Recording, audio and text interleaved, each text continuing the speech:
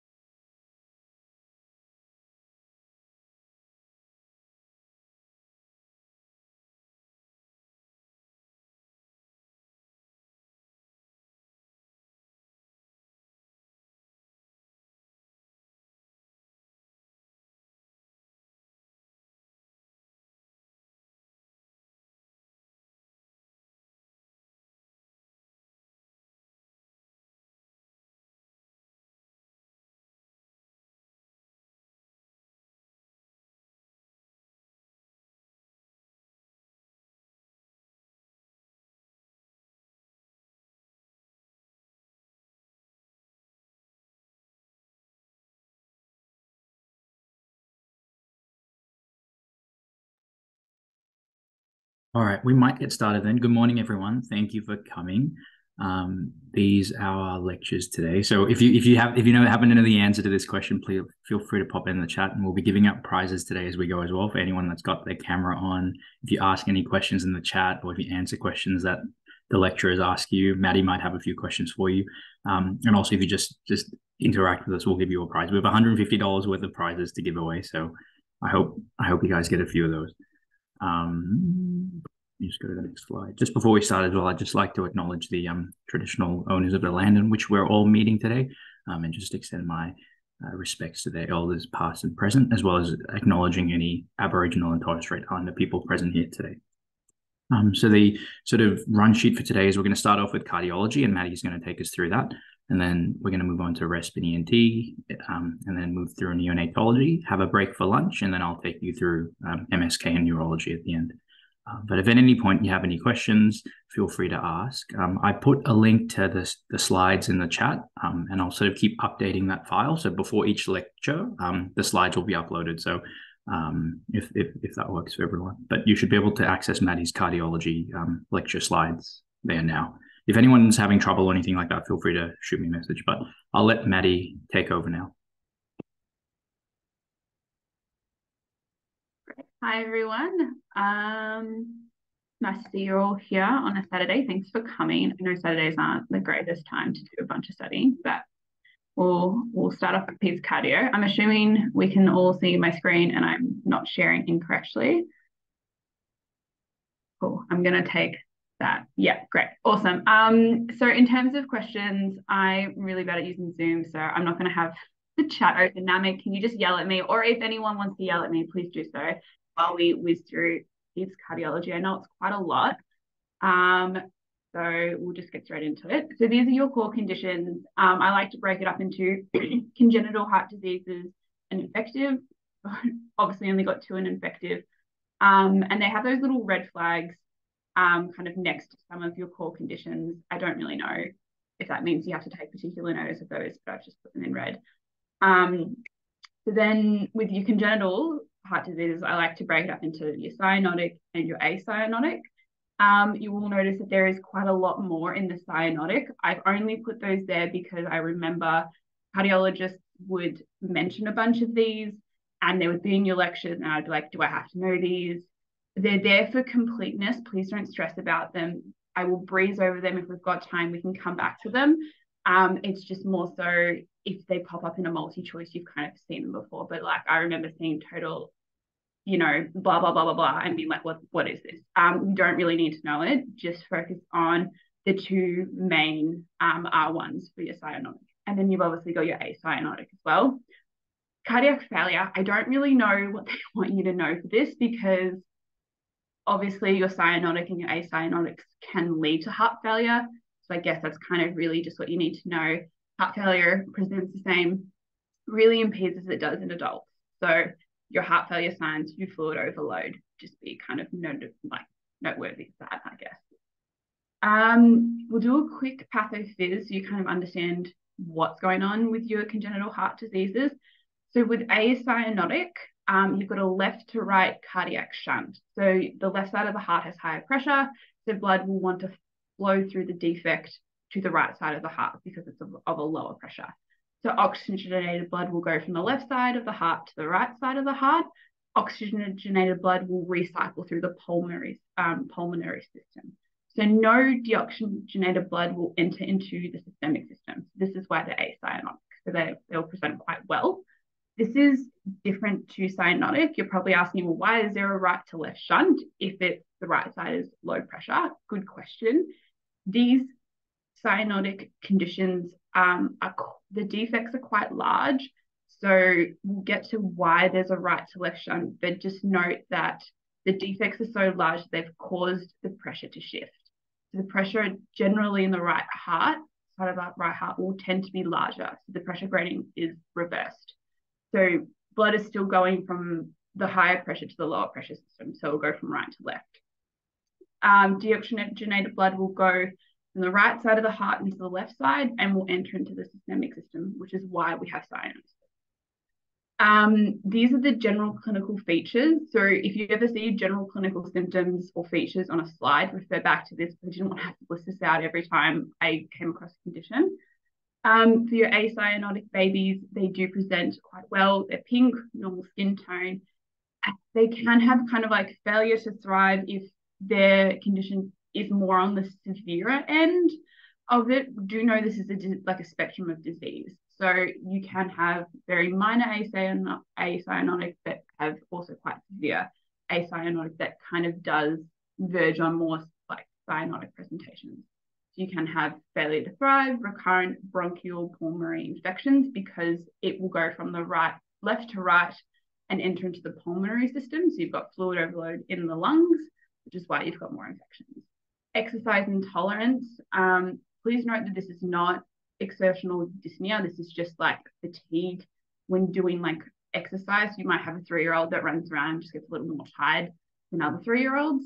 Um, versus your cyanotic babies. These are very unwell babies, so they will be grey, bluish kind of skin tones, really bad feeding problems. These will tend to also present in like a few days to weeks of, of life. Failure to thrive. When I say exertional dyspnea, this means anything, anything at all. So crying, laughing, um, defecating will cause them to become breathless. So this is how severe these defects can be.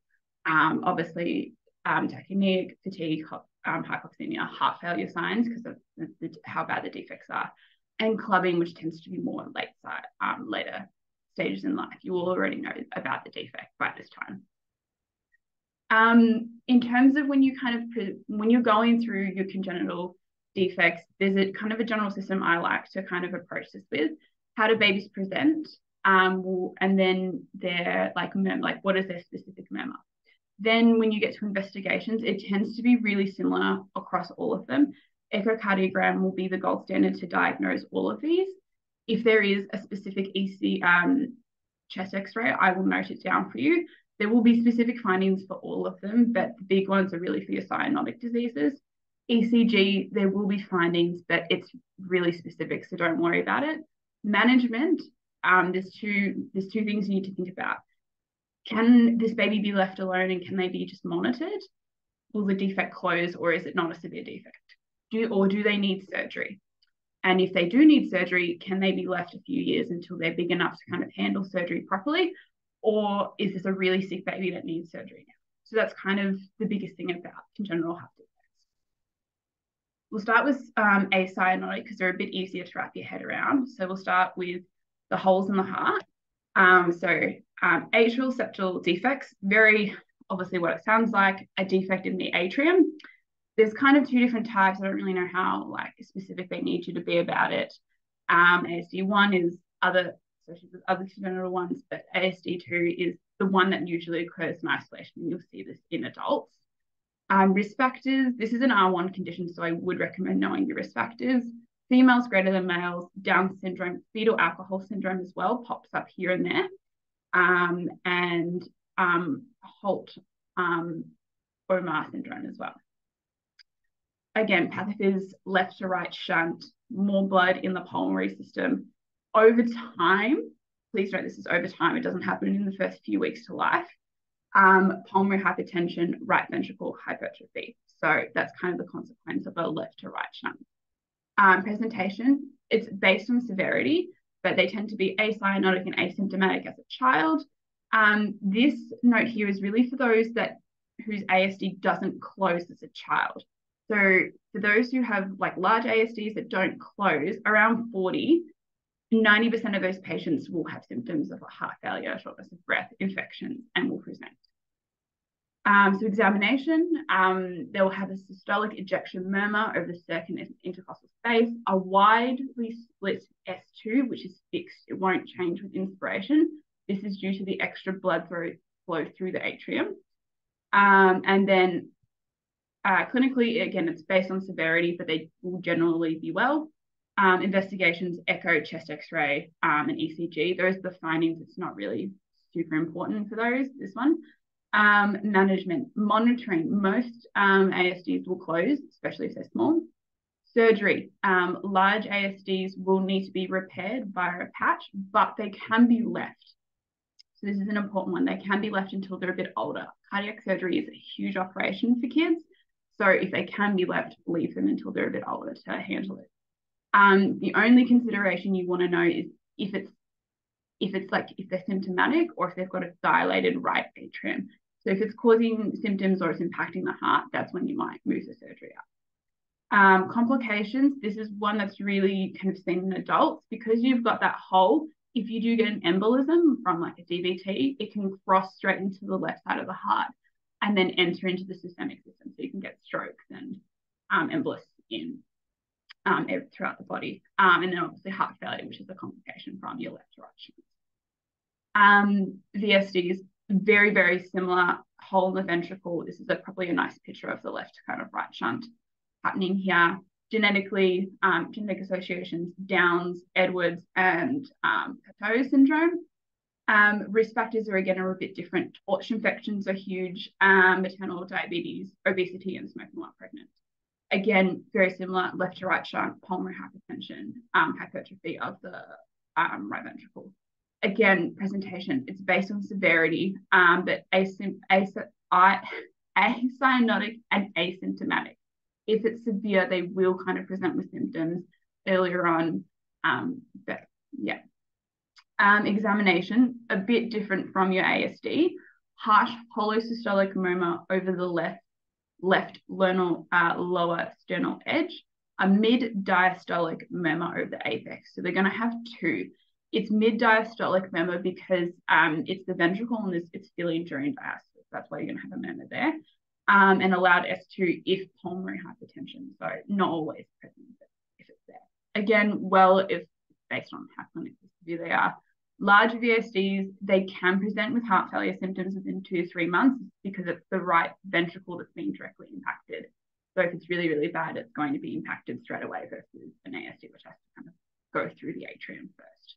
Again, same things, echoes your gold standard. There are some findings with chest x-ray and ECG. They're there if you want to know them. Monitoring, small VSDs can be, again, closed spontaneously, patch, um, surgical repair. Again, if you can leave it until they're older, two to three years, you will do so. But if they have heart failure in two to three months, you'll repair it straight away. So it's again based on severity. Complications are your ventricle hypertrophies, arrhythmias, infection because you're damaging the heart, um, and heart failure. Atrial um, ventricular septal defects. It's not on your matrix. I'm just, it's there for completion. It's a combination of um, the atrium and ventricle septals like not meeting. The only difference here is that the tricuspid and mitral valves actually like might not join. So you can kind of see it here. This is the valves. It's like one giant valve instead of two separate valves because you don't have like a joining wall here. Um, again, right to left shunt, increased pulmonary hypertension. Um, based on disease severity, again, they do tend to be well, um, the more severe cases will present in six to eight weeks, again, because it's quite a big defect. Um, systolic heave, ejection systolic murmur, mid diastolic rumble, or um, murmur, because again, it's affecting the ventricles as well. Um, parts can close as they grow up, but they most likely will need a surgical correction of whatever hasn't been, um, what kind of doesn't grow, because it's also affecting the valves. Um, patent uh, um, ductus arteriosus. Um, so this is a failure of the ductus arteriosus to close postnatally. 90% of these cases are actually isolated defects, so there won't be anything else happening. Uh, risk factors is prematurely at uh, premature prematurity because the um, PDA is kept open by prostaglandins. So if you are born early, your body's not ready to close it. So the prostaglandins are still going to be um, in your circulation. So it's just going to be kept open. Respiratory distress syndrome and Down syndrome are the other ones. Maternal exposures, um, rubella is a really big one for this. Alcohol exposure or consumption, um, phenatomet, and prostaglandin use. If prostaglandins keep it open, if you're using prostaglandins while pregnant, it's going to be a risk factor for keeping it open once born. Again, you've got that left to right shunt, um, pulmonary hypertension. But because it's outside of the heart, you're not going to impact the ventricles. So that's important to note. If it if they say, oh, they've got pulmonary hypertension, but the ventricles aren't impacted, it's probably a PDA. So if you've kind of done, if you've seen this kind of syndrome before where you're kind of doing a bit of study and you're a bit confused, I totally understand. I was a bit confused by this as well. So technically, Eisenmenger syndrome can occur in all left to right shunts. Um, so this can occur in your ASDs and your VSDs as well. So what happens is um, over time, because you're shunting more blood into the pulmonary system, the pressures will gradually increase over time and it will increase to such an extent that the right side will have higher pressures than the left side. So the shunt will reverse. So you'll have blood flowing back from the right side to the left side. So you have a right to left shunt. So that's what the syndrome is called. What this means is you'll now have deoxygenated blood entering into the systemic circulation, causing cyanosis. This will occur really only if the acyanotic conditions are really severe um, and will kind of present more later on in the child's life. So this is like if a child presents with cyanosis early on in the first few days to weeks, it's not going to be this syndrome. It's more likely in like a few like months if it's a severe acyanotic condition or like years. So keep that in mind in terms of your durations. Um, what this will cause is because of where the PDA is, it's going to cause something called differential cyanosis. Because it's after the aortic arch, you have all oxygenated blood going off to the um, essentially top half of the body. And mixed blood going to the bottom half. So you're going to have cyanosis only in the lower limbs. So this is a really good key way of picking up between um, like a PDA, a really bad PDA versus a true cyanotic condition like a TOF or a like a trans like a TGA. So keep that in mind as well. Um, presentation, small PDAs, acyanotic, asymptomatic. Large ones, they'll have those general acyanotic kind of symptoms that might prompt people to do a bit more investigations, examinations. Large PDAs will have a loud, continuous murmur, loudest at S2, because it's a like an open kind of tube that's outside of the heart it, and has constant flow through it it's going to be a continuous murmur. And it's S2 because that's when more blood is pumped through to the systemic. You'll have bounding peripheral pulses and differential cyanosis, which is only to the lower limbs due to where the PDA is located, and only once the shunt's been reversed. So this is only really in really bad large PDAs. So this won't happen in small PDAs that will eventually close themselves. So yeah. Um, investigations, your standard ones, echo, gold standard chest x-ray, um, ECGs, really just small and finance. Um, management, you can monitor small PDAs if there's no evidence of left-sided kind of heart volume overload, it's fine. Um, and you will treat with medications because NSAIDs, like indomethacin, will oppose the action of prostaglandins or PG1s. So, and will close the PDA. So this is really important. And this is often used in preterm infants because obviously surgery is not great for preterm, preterm infants. Sometimes they will ligate the PDA, but this is rarely done because medications like NSAIDs tend to be quite good at closing the PDA.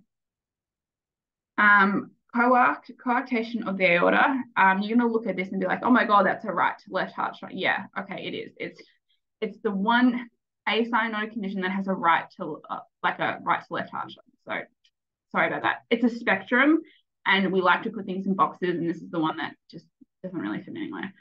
Um, so this is narrowing of the aortic isthmus, isthmus, which is after the aortic arch, which is really important because again, it's after the arch, which means that any cyanosis is going to happen in the lower limbs.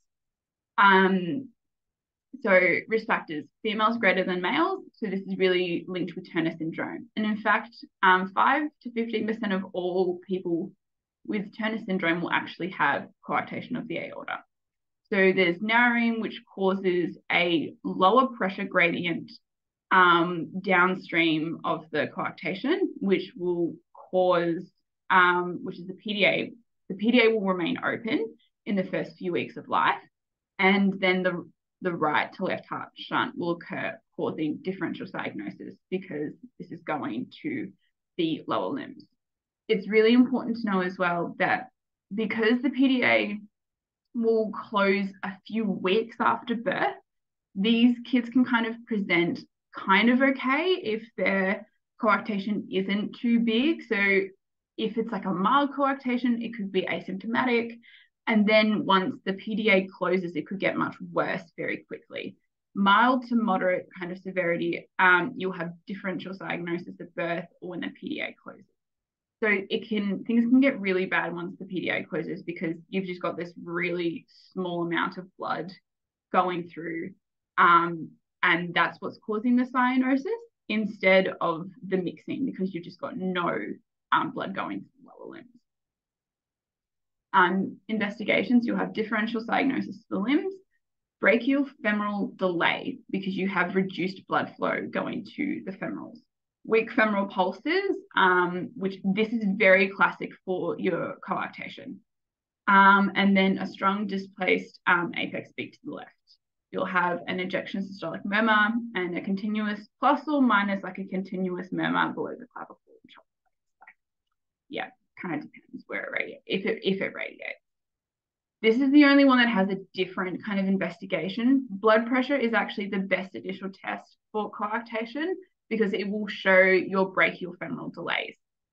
Um, echo is the best like um, confirmatory test and it will show the location of your coarctation and your chest x-ray. There is a specific sign. It's a figure three on the X-ray um, and cardiomegaly. It's on the next slide. I'll show you.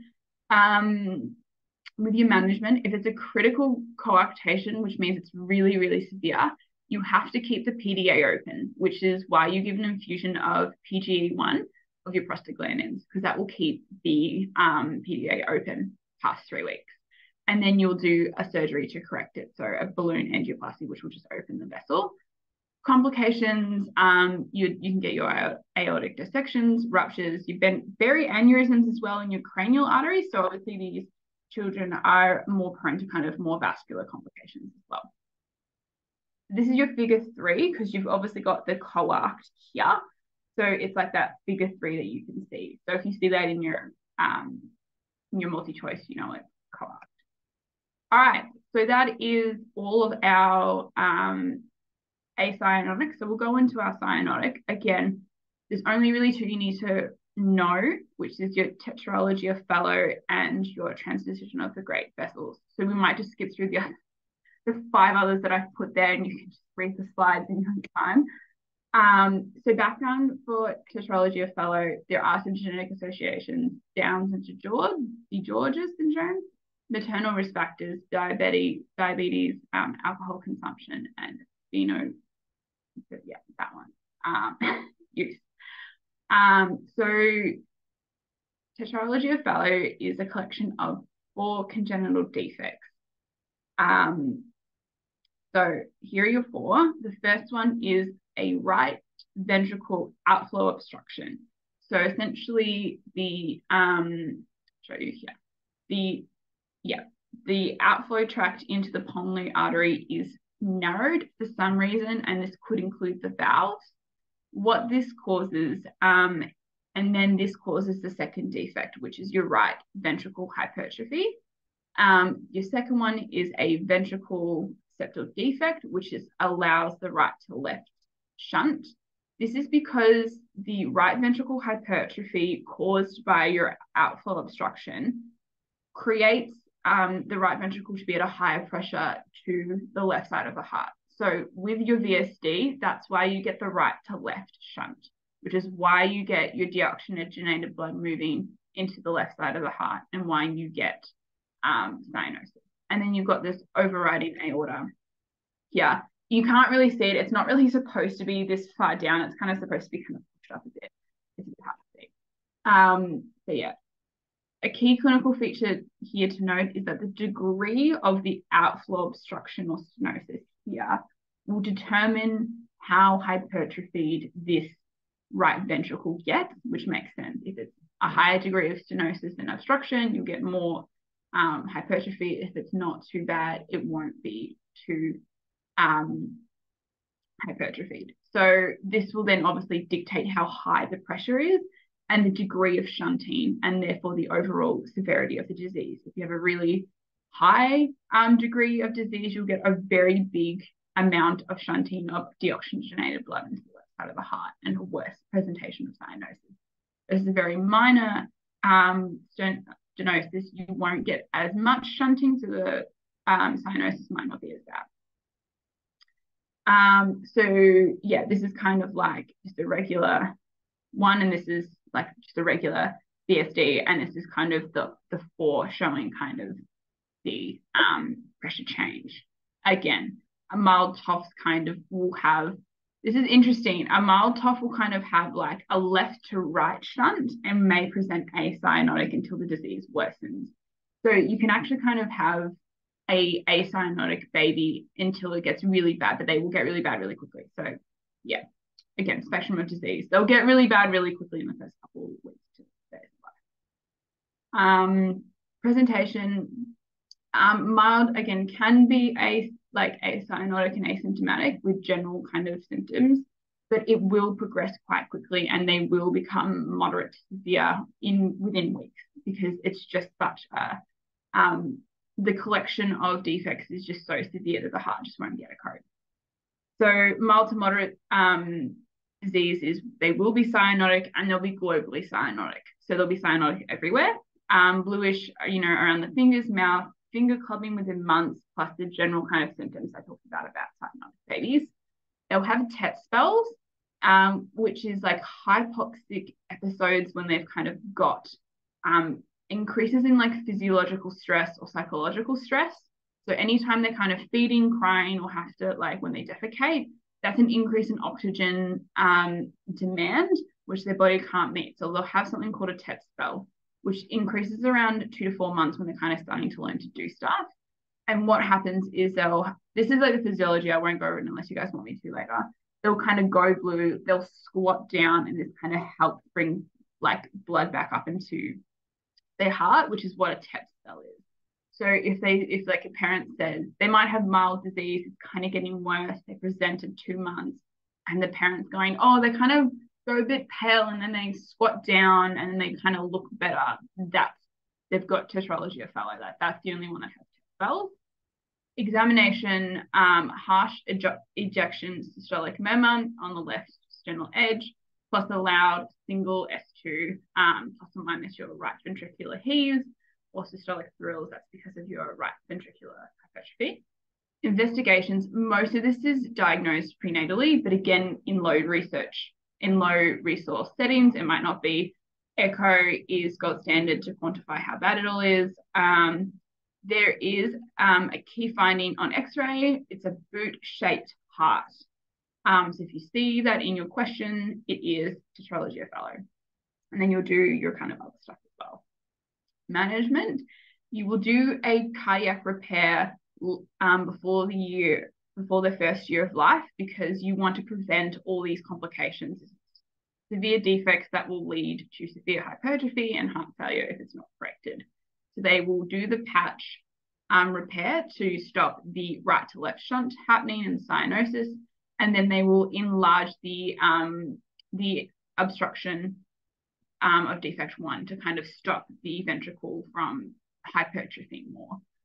Um, if it's really, really severe and these kids present cyanotic at birth, they'll give them a PG1 infusion until surgery to keep the patent, um, the ductus um, arteriosus patent, um, because that will allow collateral blood flow. Um, and then obviously your doctor's ABCD. Yeah. Um, management of heart failures uh, you don't really need to know that. That's just kind of there if you're interested.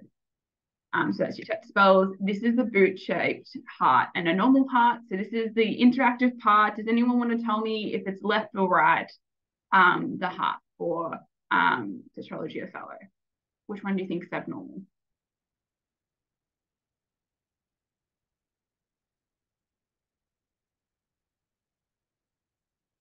Getting anything in the chat?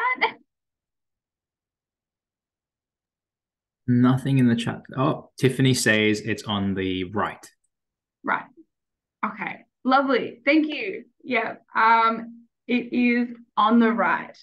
So this is a normal um, chest X-ray of a baby, um, and this is the um, boot check. You can kind of, um, yeah. So you won't have to pick. They won't give you an X-ray and be like, "What is this?" That's a bit mean. They'll just say boot-shaped heart on X-ray. Um, so the second cyanotic condition is um, the trans transposition of the great vessels of your great arteries. Um, it's just just swapped vessels and the sharp the air, there's an egg-shaped heart on X-ray. So um, again, your maternal risk factors and exposure, you can think of this as Dan, Dr. 40 Dan. So you've got your diabetes, your rubella, age over 40, DiGeorge syndrome, alcoholic consumption, and nutrition if it's poor, which is a bit of a um, so in terms of the defect, it's the anatomical reversal of the aorta and pulmonary arteries, which will create a closed circuit, which is incompatible with life, which is what you can see here. So these babies, if they're born just like this, they won't survive because the with like they do have uh, obviously blood support blood supply from the mother but once they're born that's obviously cut off and this is just not viable with life. So they do need to have coexisting um like um ab- like defects in order for there to be blood mixing for them to survive So they'll either have to have a PDA or a VSD or an ASD so that blood can mix. There is kind of two different TGAs. I don't think it's super important. This is the the complete TGA is the one that most kids are born with and they will have like the PDA VSD. This one here is the one that like kind of you can kind of get away with not being picked up, which I've just kind of included with um the completeness. The reason it says compatible with life is that the defect is compatible with life. So they don't need extra defects to survive. So then they're not picked up until later on in life. And yeah, it's yeah, you'll see. Anyway, so this is the closed loop circuit. Um, so then you need to have um, kind of one of these to kind of survive. Um, most cases will actually have a VSD, um, which will tend to be kind of the, the most common one. So that's your ASD, that's your VSD, and that's your patent arteriosus. Um. Um, so presentation, they'll postnatally, they'll be cyanotic, and it's not impacted by exertion or supplemental oxygen. So because like this is the mixing kind of of this like that this is the preset system and there's no way to increase your levels of oxygenation because the vessels have been swapped if that makes sense um so the oxygenation is determined by the mixing between the two circuits which is determined by how many of these like collateral defects that you have, not by how much oxygenation you're getting from your lungs. So um, if these babies present cyanotic and you give supplemental O2, their stats aren't going to improve. They'll also be tachypneic as well. So on examination, they'll have a single loud S2. They won't really have a murmur. And they might have a small murmur if they've got a VSD, but they won't generally present with a murmur. Um, and they'll have dimin diminished femoral pulse. Um, so that's the complete um, TGA. So they need to have, um, yeah, other defects for it to. This is the one that is functional with life or compatible with life and doesn't have any other defects. What this kind of means is that the, the defect is that the ventricles are also, and their valves are also swapped with the vessels. So the great vessels are still connected. Um, it's like, yeah, it's a bit weird. Essentially, what this means is that it's called congenital, congenitally corrected so that circulation is preserved. Um, so what this means is that they will present acyanotic and asymptomatic, um, and then they adults will be at risk factor, um, will have risks of heart failure. Really don't worry about this one. That was just really put in there for completion if they just put up random. Um, anyway, for diagnosis, again, it will be found prenatally um, on fetal ultrasound. Well, actually, it's actually difficult on fetal ultrasound. It will most likely be picked up postnatally. Um, echo gold standard confirmatory test. This is the um, ECG. It's called egg on a string or an egg heart. It's bulging. Um, they'll have low O2 stats, and then you'll do an angiogram prior to surgery as well, just to kind of visualize this. This is, again, they present cyanotic. They're not well babies. So doctors ABCD, you'll need to keep open the PDA for that collateral blood supply. So you do your PG um, E1 infusion, and then they will do like um, your corrective surgeries. So they might even like enlarge an ASD or create an ASD um, to kind of keep things open um, while the child is becoming more medically stable. And then they'll do a surgical repair within the first two weeks. So they'll actually like swap the arteries back over, which is um, these are your other congenital defects. Again, this is just in here for completion. If you want to look at them or if people have like mentioned them, tricuspid atresia, the tricuspid valve hasn't like formed. Again, this is incompatible with life. You need a defect kind of, um, you need an ASD essentially, um, and a VSD for it to kind of be functional. So you have your mixing of blood and etc. Same kind of things. Um, your truncus arteriosus, the um, aorta and pulmonary arteries don't um, split and diverge out in um, during development. So there's just this giant kind of trunk here, and that's where there's like this kind of mixing of blood. Um, and there's also like a VSD that doesn't close either because normally the vessels will kind of move up and the VSD will close. But um, obviously that's kind of what's there. Again, um, it, both of those that I just mentioned will need surgical correction. They'll present cyanotic. This is this is a this is a lot. This is this is a bit of an annoying one. Um, total anomalous pulmonary return, venous return. Essentially, your pulmonary arteries, which return oxygenated blood, are supposed to come into the right atrium. They don't. It connects back into the venous system, which creates another closed loop circuit. So this is incompatible with life. You need an ASD to allow mixing. So you'll just have oxygenated blood coming from the lungs into the right side of the heart, going back into the lungs. So you need a um, an ASD for it to kind of enter into the left side. Um, again, those are your findings. It needs surgical Hypoplastic left heart syndrome, the left side of the heart is just really, really small. The ventricle is just underdeveloped, and this is not compatible with life because no blood is getting through the aorta. Um, most of these, all of these will have to have another deep, like a defect. Um, it will have to have an ASD and a PDA for it to be um, viable. So it needs to have blood getting into the right side of the body and then back into the left side for it to um, be compatible with life. Again, need surgical correction and a PG E1 infusion um, prior. Um, this Ebstein's anomaly, anomaly is a very small ventricle because the tricuspid valve develops lower, which makes a very small ventricle. Um, and then that just kind of, yeah, it just is not very functional. So then you need to have an ASD in order to um, pump blood um, for it to be, um, to have the system work properly. Um, okay, so I know that was a lot. Um, we've got about 20 minutes left, so I will try to get through infectious diseases in about 10. So we have about 10 minutes for questions.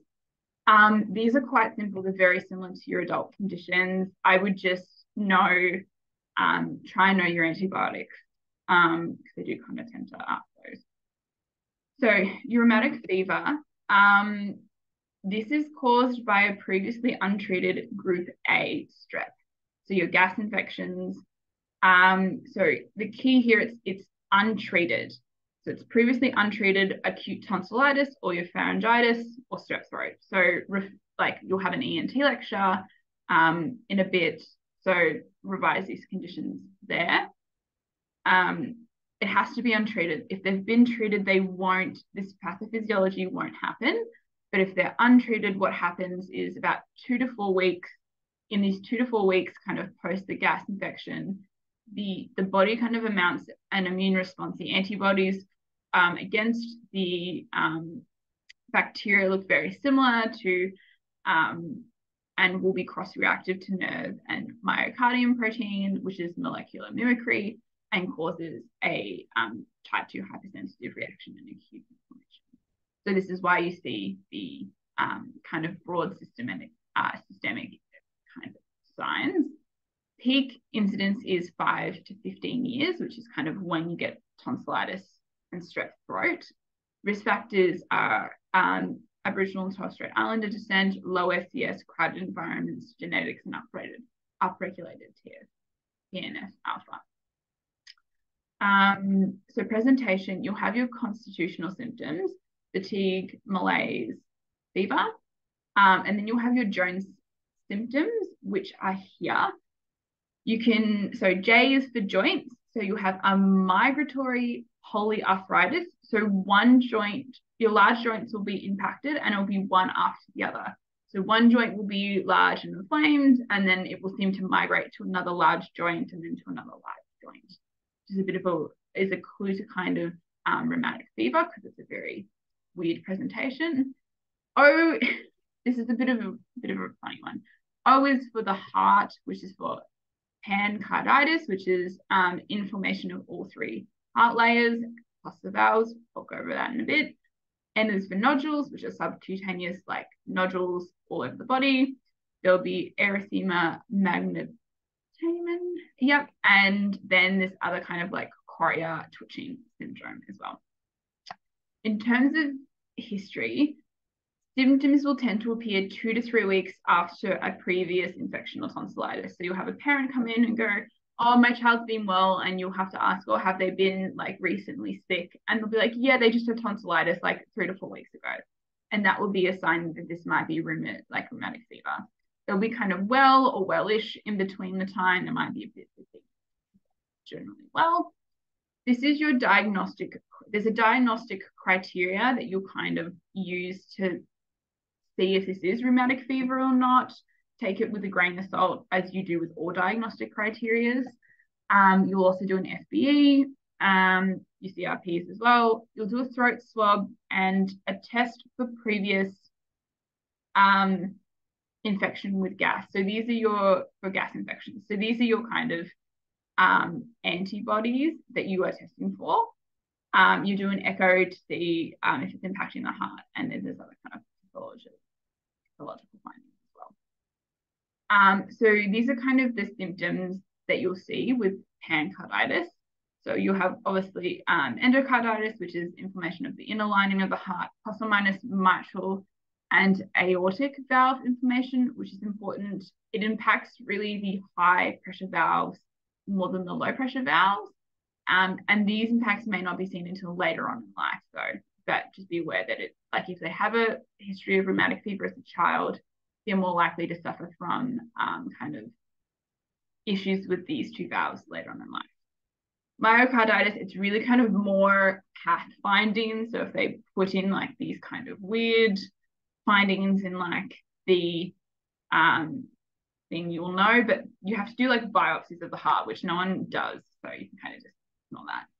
And then you've got pericarditis, which is inflammation of the um, outer layer, which causes pain and a friction rub on auscultation.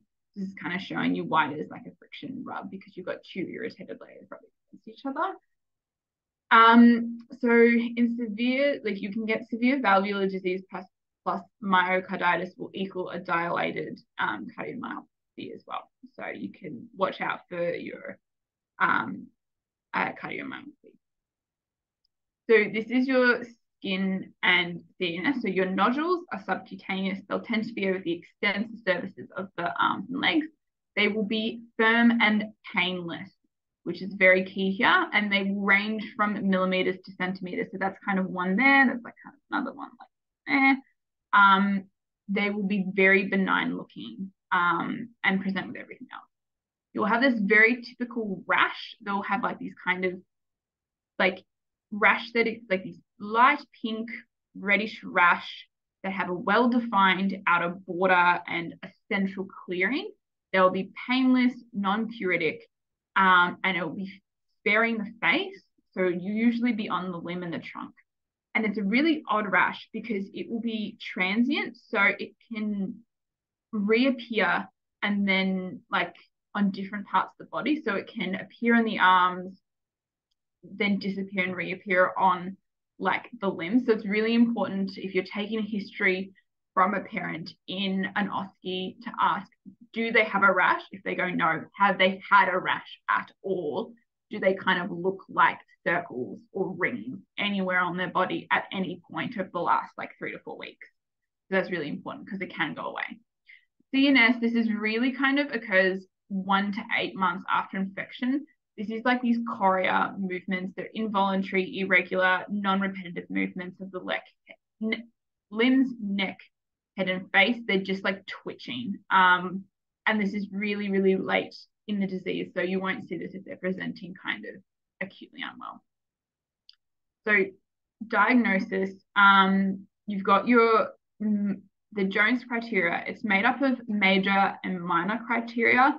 In the bottom of the slide, it's like how many major and how many minor just don't really worry about that too much. But here, your major criteria are essentially the symptoms, the Jones symptoms, and then your minor criteria are like fever, raised ESR, CRP, and a prolonged um, PR interval because you've obviously got cardiac involvement. Diagnosis.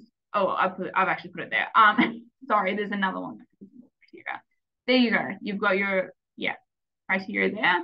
Um, investigations. You need to prove that it's got a previous GAS infection or it's not rheumatic fever. Other tests, um, FBE, CRP, ESR, throat swab, it may be commensal, so you can't rule in or out rheumatic fever based on the throat swab. Do your ECGs and an echo because cardiac is um, very likely involved.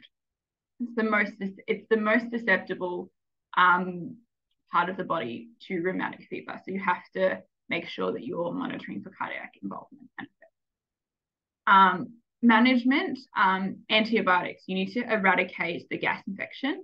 Your so because you need to eradicate the infection, your first line is your um, Benpen, single injection IM. Not a lot of people like this because it's a big injection into like IM muscle, but the second line therapy is penicillin V oral for 10 days. It's not optimal because you can't ensure people will gonna will take it. And if they don't take the full course, they're likely to represent with more attacks of rheumatic fever. So this is why it's first line because it's a single dose. You can make sure that they have it, and then then that's they've cleared the infection.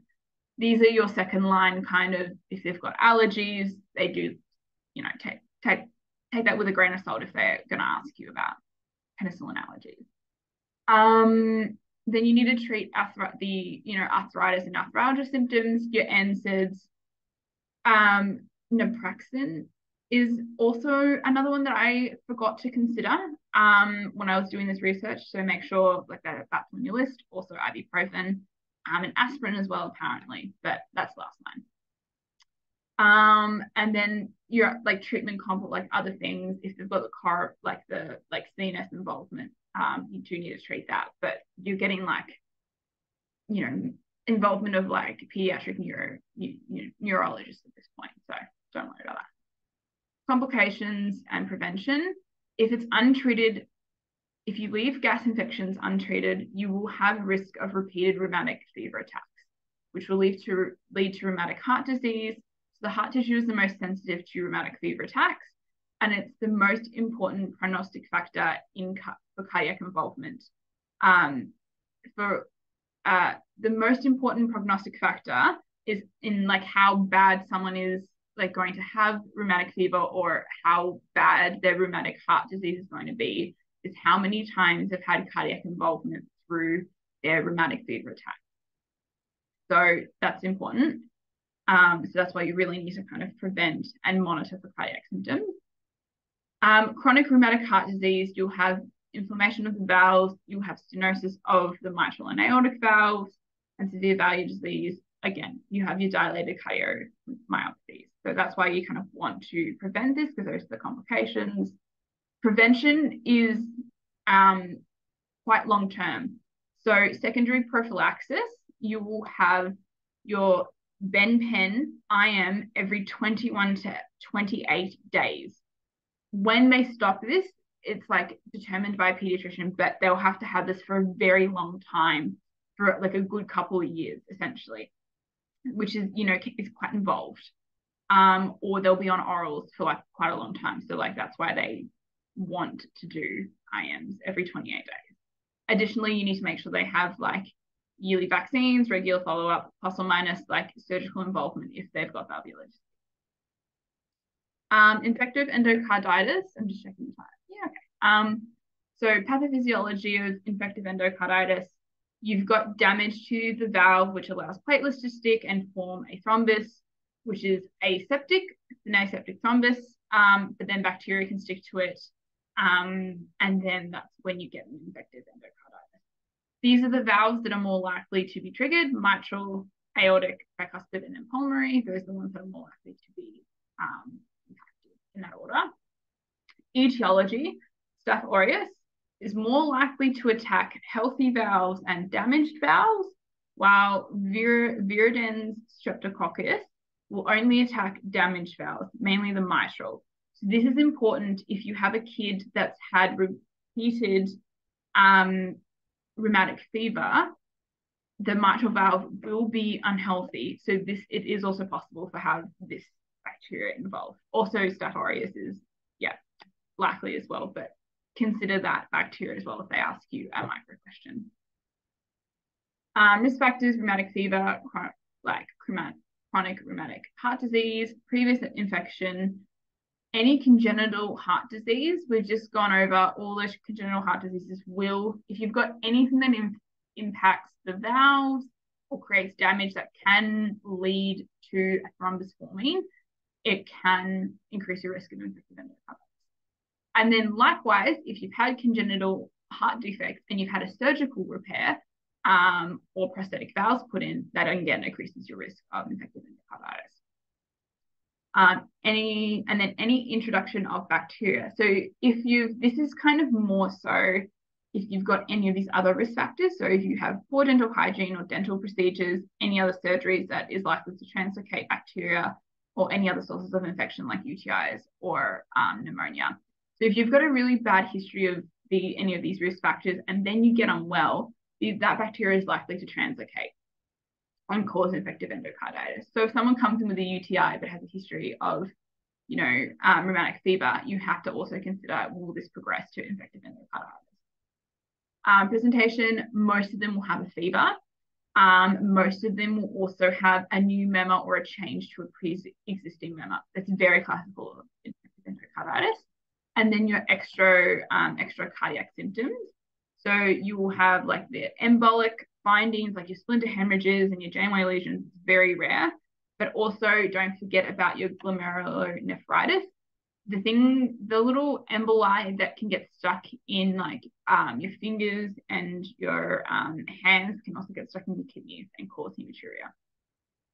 Clinically, it's like a it's a judgment based on it's a diagnosis based on clinical judgment.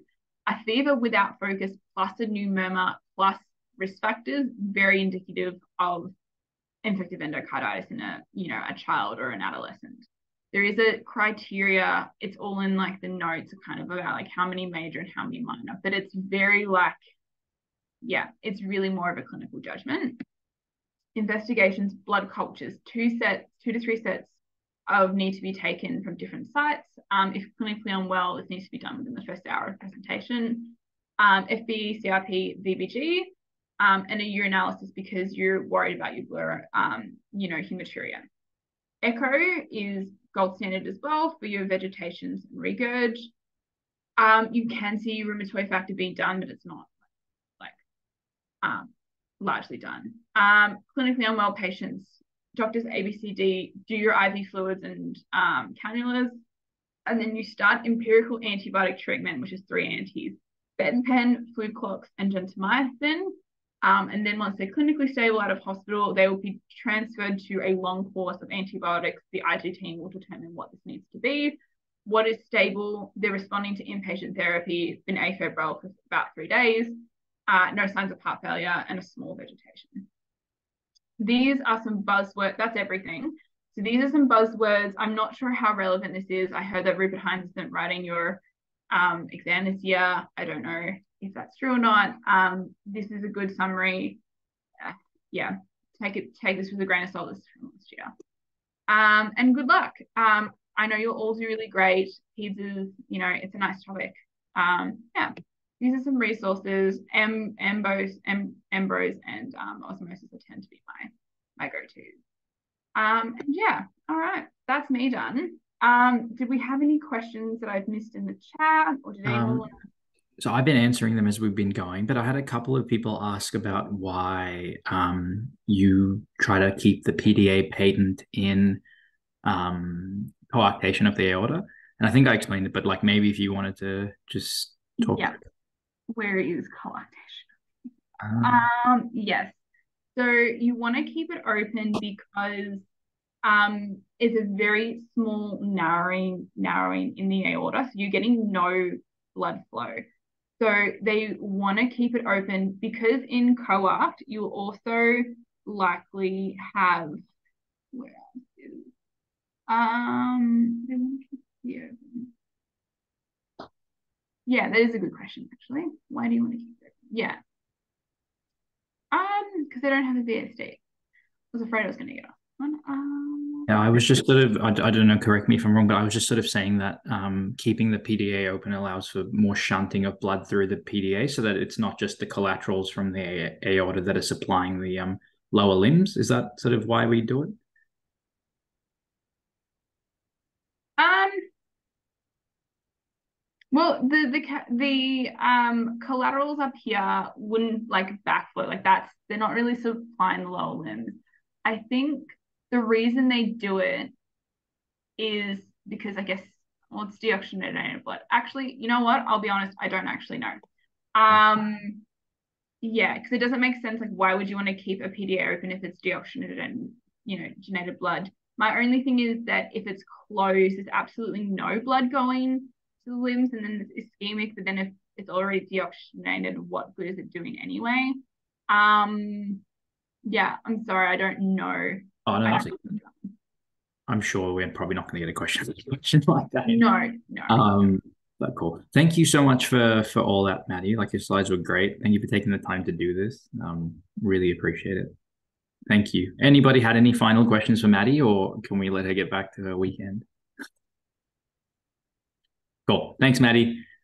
Thanks. Um, our next presenter is Louise, and she's going to take us through ENT. Louise won the um, PEDS prize last year, and she absolutely hates PEDS. So you know that means that she's probably she's probably a really good person to take advice from because if she can win the PEDS prize, then anyone can. No, I'm joking. Um, yeah, so just yeah, Louise is next. Thank you for that. Um, can everyone hear me and see my slides? Yes. Okay. Cool. Cool. Cool. Um, yeah. So I'm doing RESP, ENT, and Ophthal it's a lot to get through, but it's pretty high yield. So here we go. Um, so this is just my little contents. So um, RESP, ENT, and Ophthal. So there's like quite a few R1s for RESP. So I'll go through all of those. Um, obstructive sleep apnea and allergic rhinitis, I've moved them into my ENT portion because I don't understand why they're in RESP. Um, I'm not going through TB because I'm sure you guys are all over that from 3B. I'm also not going to go through conjunctivitis and sinusitis because I think that'll be well covered in your GP lectures. Um, so just doing tonsillitis and otitis media because they're very pedsy. Cervical adenitis, look, I'm not going to go over that because I feel like it's very low yield. And then Ophthal, you've only got R2 and R3 because it's more GP land, but these ones that I'm going to go through kind of briefly um, are very much for PEDS. All right, here we go. So we'll go through Stridor first as kind of like your presentation. So first is croup. So this is the infective inflammation of the larynx, trachea, and bronchi. So um, the etiology is para-influenza virus. So that's what you need to know. This is causes 70%. Um, obviously, other viruses can cause croup, but in your exams, you're going to say para-influenza virus. Um, in terms of your risk factors, smoke exposure is a big one to kind of get out of, say, an OSCE. Intubation as well. So we're thinking our premies because they've got already like a narrowing of their airway. So if you then put kind of like narrowing through infection on that, it's going to create even more narrowing. Similar with neuromuscular disease as well, because you've got the narrowing from um, collapse of muscles. And then less than six months of age, it's rare to have croup, but it's more severe. So be wary. And then in the winter months, you've got all sorts of viruses going around. So a bit of a clue there, as well as sick contacts. So in terms of your epi, it's between the ages of six months and six years. If it's less than they're less than six months, it's probably unlikely to be croup. Start thinking of something else. And similarly, if they're older than six years, start thinking of something else. In terms of the pathophysiology, it's pretty like simple. So it's just inflammation of these areas of the airway. And then with inflammation, you get edema and increased secretions to try and get rid of whatever's in there. And that leads to airway narrowing. So, in terms of the symptoms, it's very classical for croup. So, you've got that viral prodrome for two to three days. And then this kind of goes on to your characteristic barking or seal like cough. So, it's always really good to ask, what does the cough sound like when you're in an OSCE? Because they will say it's barking or seal like, and you can go, there we go, it's croup. And then you can get on with it. Um, they'll also have an inspiratory stridor, and that's worse at night. They'll have some increased work of breathing, and they may or may not have a fever. And then they this will progress onto a persistent cough. So um, kids always have a cough because a lot of um, viruses and stuff just have this persistent ongoing cough. So it's a bit of a theme. In terms of investigations, you're not doing any and you're trying not to really examine the child that much. You're really getting kind of the picture off the history um, from their caregiver um, because examining them can actually worsen the airway um, narrowing. So you just want to like let them be comfortable. So this is just to kind of show you the difference between an infant airway and an adult airway. So as you can see, an infant airway is half the size of an adult. So if you then put some inflammation onto that, it's extremely narrow compared to an adult's airway. Okay, so this is straight from the RCH, um, which is, we, we love the RCH. It's obviously the Bible for um, PEDS. Um, and this is where I'm getting all my information from. Um, so this is, you've got to kind of look at the crib in terms of mild, moderate, or severe, and this is going to dictate how you're going to manage the child. Um, so it's really important that we're, like I said before, it's all about minimal handling. So you're not actually going to measure measure saturations on a child that's appearing to have mild to moderate croup. It's only severe that you're going to measure the oxygen saturations. Um, so contrasting mild, mild croup is just going to be they're a well child, but they've kind of got this stridor when they're moving about and active. Um, whereas when you're looking at severe, they've got this persist, persistent stridor.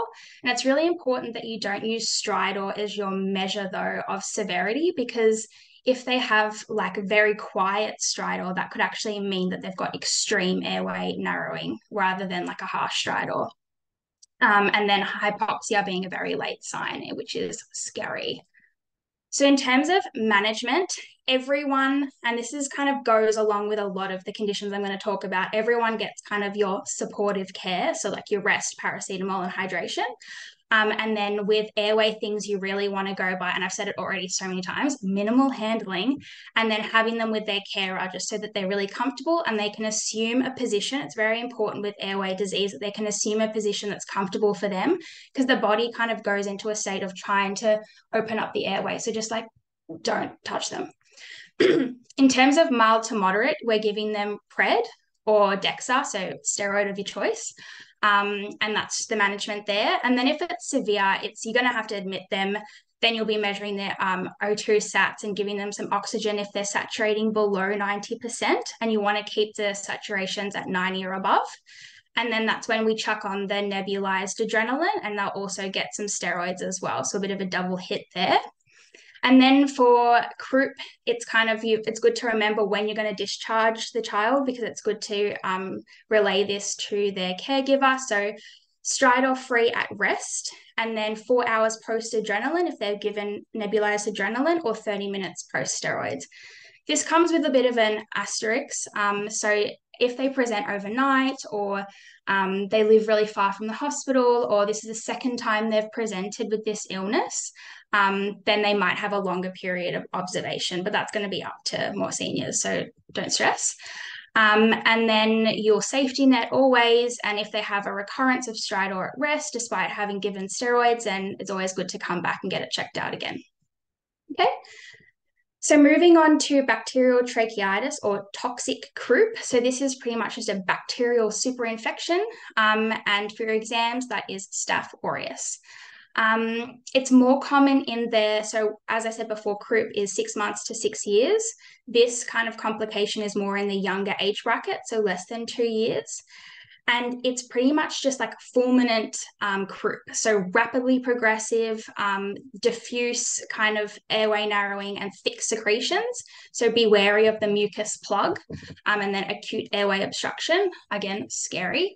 So in terms of the clinical presentation, these are going to be unwell children. So whereas like croup it can be they can be quite unwell if it's severe sorry um, or um, they can be well. So these these children will be unwell. They'll have a high fever, they'll have a harsh stridor and a productive cough from this these really thick secretions, and they'll be in respiratory dis, distress. And a bit of a clue as well is that they may have come in, you think, oh, this is just like viral croup. Um, severe, you give them some nebulized adrenaline, but they're not responding. This is when you're thinking, oh, this could be um, bacterial. So in terms of investigations, we want to then get some cultures. Um, you won't do a like a, a neck X-ray, but if you do, there'll be the steeple sign. So this is buzzwordy. I'll show you a little pic. And then you can do um, a bronchoscopy. And so you can aspirate some of the um, thick secretion so you can culture that. And then in terms of management, um, you want to make sure the airway is secure because we're doing doctors ABC and airways first. And then because this is bacterial, we want to give them some antibiotics in the form of IV KEF. So this is your steeple sign. I hope you can see my cursor. So you can just see it looks like, a, it's a terrible picture. I apologize, but this is the steeple. Um, and you can just see that this is obviously supposed to be patent and then you've got all of this edema around. All right, so some differential diagnoses for stridor. Again, these things you, you you have to know, but they're not on your matrix, so fun. So epiglottitis is quite rare because we now vac vaccinate against Hib or Haemophilus influenza B. So um, Hib is you require a T cell response to mount a response against Hib, and unfortunately, until two years of age, you have a really terrible T cell response. So in younger um, children, it's more common, and those that are unvaccinated. But you get your vaccinated vaccination at two, four, six, and eighteen months. I'm pretty sure. Um, so it's good to kind of have a brief understanding of like the vaccination schedule, just so you can be like, oh, are they fully vaccinated or not? Um, and then it's your triad or the Ds. So drooling, dysphagia, and distress, because you've got such airway narrowing that the secretions can't get down. So you have drooling, and then you've got closing off of the esophagus from the edema. So then you get dysphagia. And then obviously, if you have a tight airway, that is terribly distressing. Um, they'll have high fevers, and that translates to rigors as well. Um, the muffled voice, uh, they'll have stridor, work of breathing and then um, tripoding and neck hyperextension. So they're assuming the sniffing position to try and get increased air down.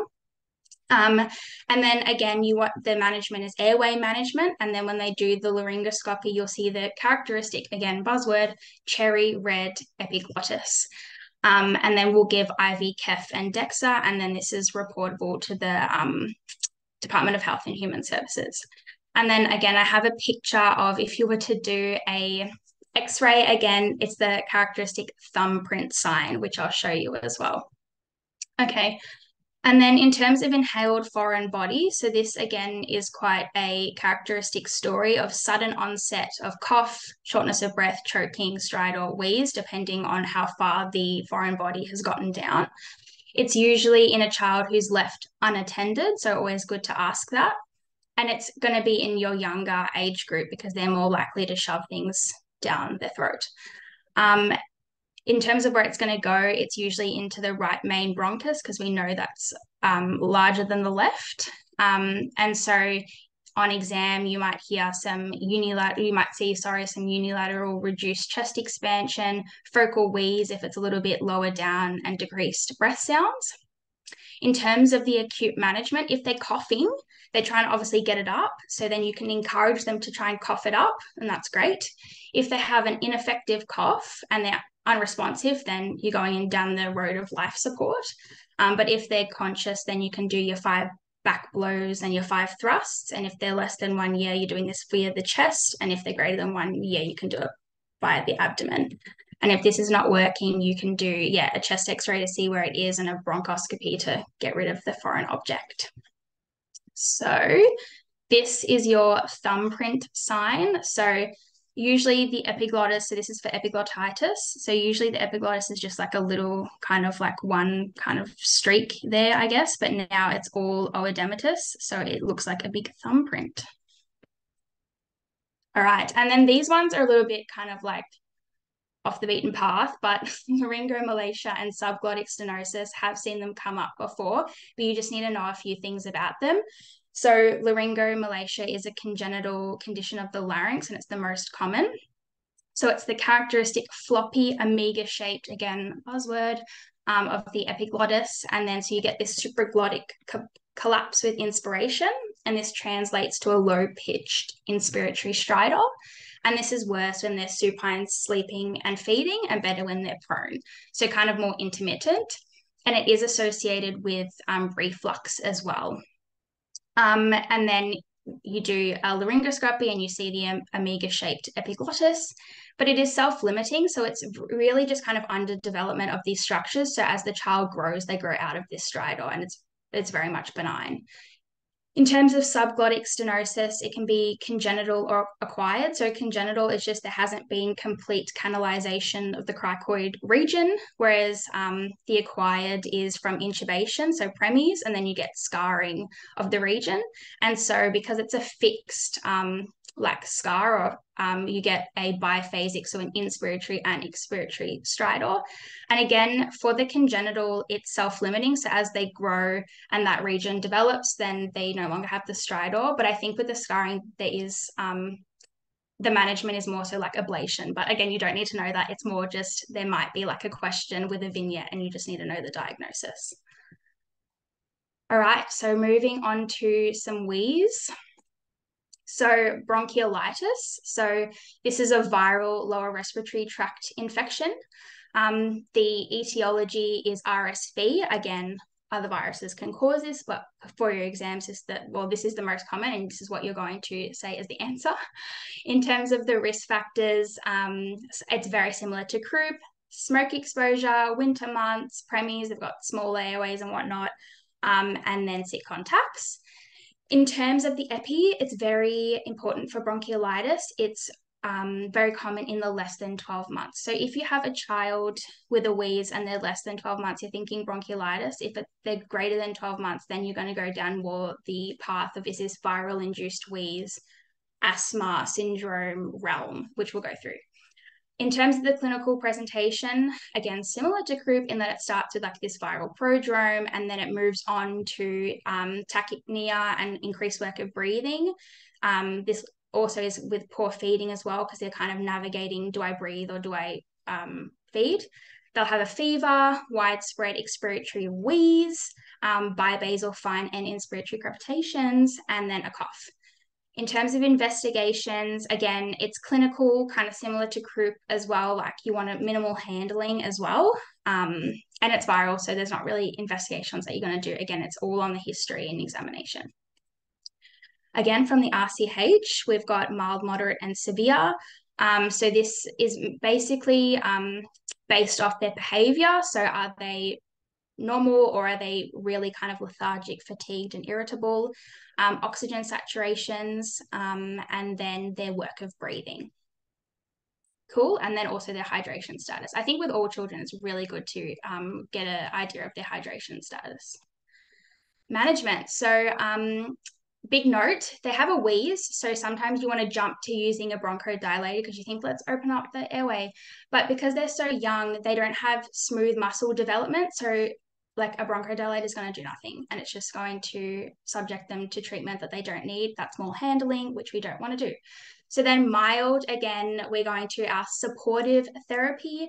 So small frequent feeds, minimal handling. You can also give them, you know, some paracetamol to bring down any fever, etc., cetera, et cetera. Moderate, we're going to admit them because they need some NG hydration. So with peds, you know, how we go oral hydration, then NG feeds, and then IV. And then if they're deoxygenating, you're going to support their oxygen. And then severe, same thing, admit, hydrate, and then they might need some extra help with their oxygenation in the form of high flow nasal prongs or cannulae. And then, yeah, then there's the controversial um, palivizumab, um, which is an anti-RSV IgG but you're only really going to give this to really high risk or vulnerable groups and it's never going to be the answer in your exam and it's never going to be the answer in your OSCE so that's just there in case that you come across it um, Cool. And then counseling. So um, it's a viral illness, and all um, caregivers just want antibiotics or like something to be done. But if you say, oh, it's supportive management, they're not really happy. So you got to like kind of go through the whole thing of like, it's acute illness that goes for two weeks, but we'll support them through it, blah, blah, blah. Um, and then, like I said before, all of these things end with this cough that just keeps going forever. So they might have this cough that just keeps going and a wheeze, but that's just normal and they'll eventually get rid of it. Cool. All right, so asthma, I'm just going to go through what you need to know for PEDS because I'm sure you're all over um, like asthma from last year. So this is just PED specific information. Okay, cool.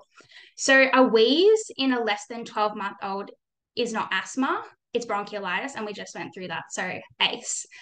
Um, then you've got to think now when they're older than 12 months, like is it a viral induced wheeze? Is it asthma? So wheeze in children is super common but not all is asthma. So um, in terms of diagnosing asthma i was surprised by this. I thought you had to do spirometry to diagnose asthma um, but you don't. So it's a clinical diagnosis and i think that's really important. So it's all based off the history. So they need to have the the classical signs of asthma. So wheeze um, work of breathing, chest tightness, and a cough, so a dry cough, and this is all during the asthma attack. And then they'll have any of the following, so a recurrence. So we know that asthma is a recurrent obstructive airway disease. Um, and then it can be diurnal, so is it worse in the morning, worse at night? Is there a known trigger? Yes, I get it with exercise. Yes, I get it with cold weather. I get it when I go to my grandma's house because she has a cat. Um, do they have atopy? So do they also have allergic rhinitis and eczema or a family history of this? And then do they respond to a SABA? So when they're having these attacks, if you give them a bronchodilator, does this make their symptoms better? If they're greater than six years and you're uncertain of the diagnosis, like it's not a very convincing history, but you're kind of like, nah, then you can do spirometry and noting that they need to be older than six years because younger than this, their, their, their airways aren't developed enough to conduct spirometry. So then there's viral induced wheeze. So um, preschoolers, so one to five years, it's very common for them to have viral induced wheeze, and only 50% will go on to develop asthma. And only a portion of viral induced wheeze is actually responsive to a SABA, but that response to a SABA is not then diagnostic of asthma.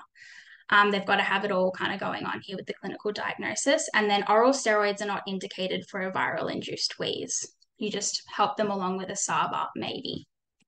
Okay, so a bit more on asthma. So um, for PEDS, we like to break it up into these different um, patterns. So the infrequent, intermittent being our most common, and then our frequent, intermittent, and persistent. And then it's based on do they have interval symptoms no no yes. Do the frequency of their flares and then do they need a preventer? So if it's persistent then yes they need a preventer. But if it's kind of these um, intermittent um, variants then it kind of depends on the severity and the frequency of their flares. But i'll just leave that there for you guys to kind of go through. It's not super important but good to know. Um, and then in, in the terms of having an acute asthma, oh no, sorry, backtrack.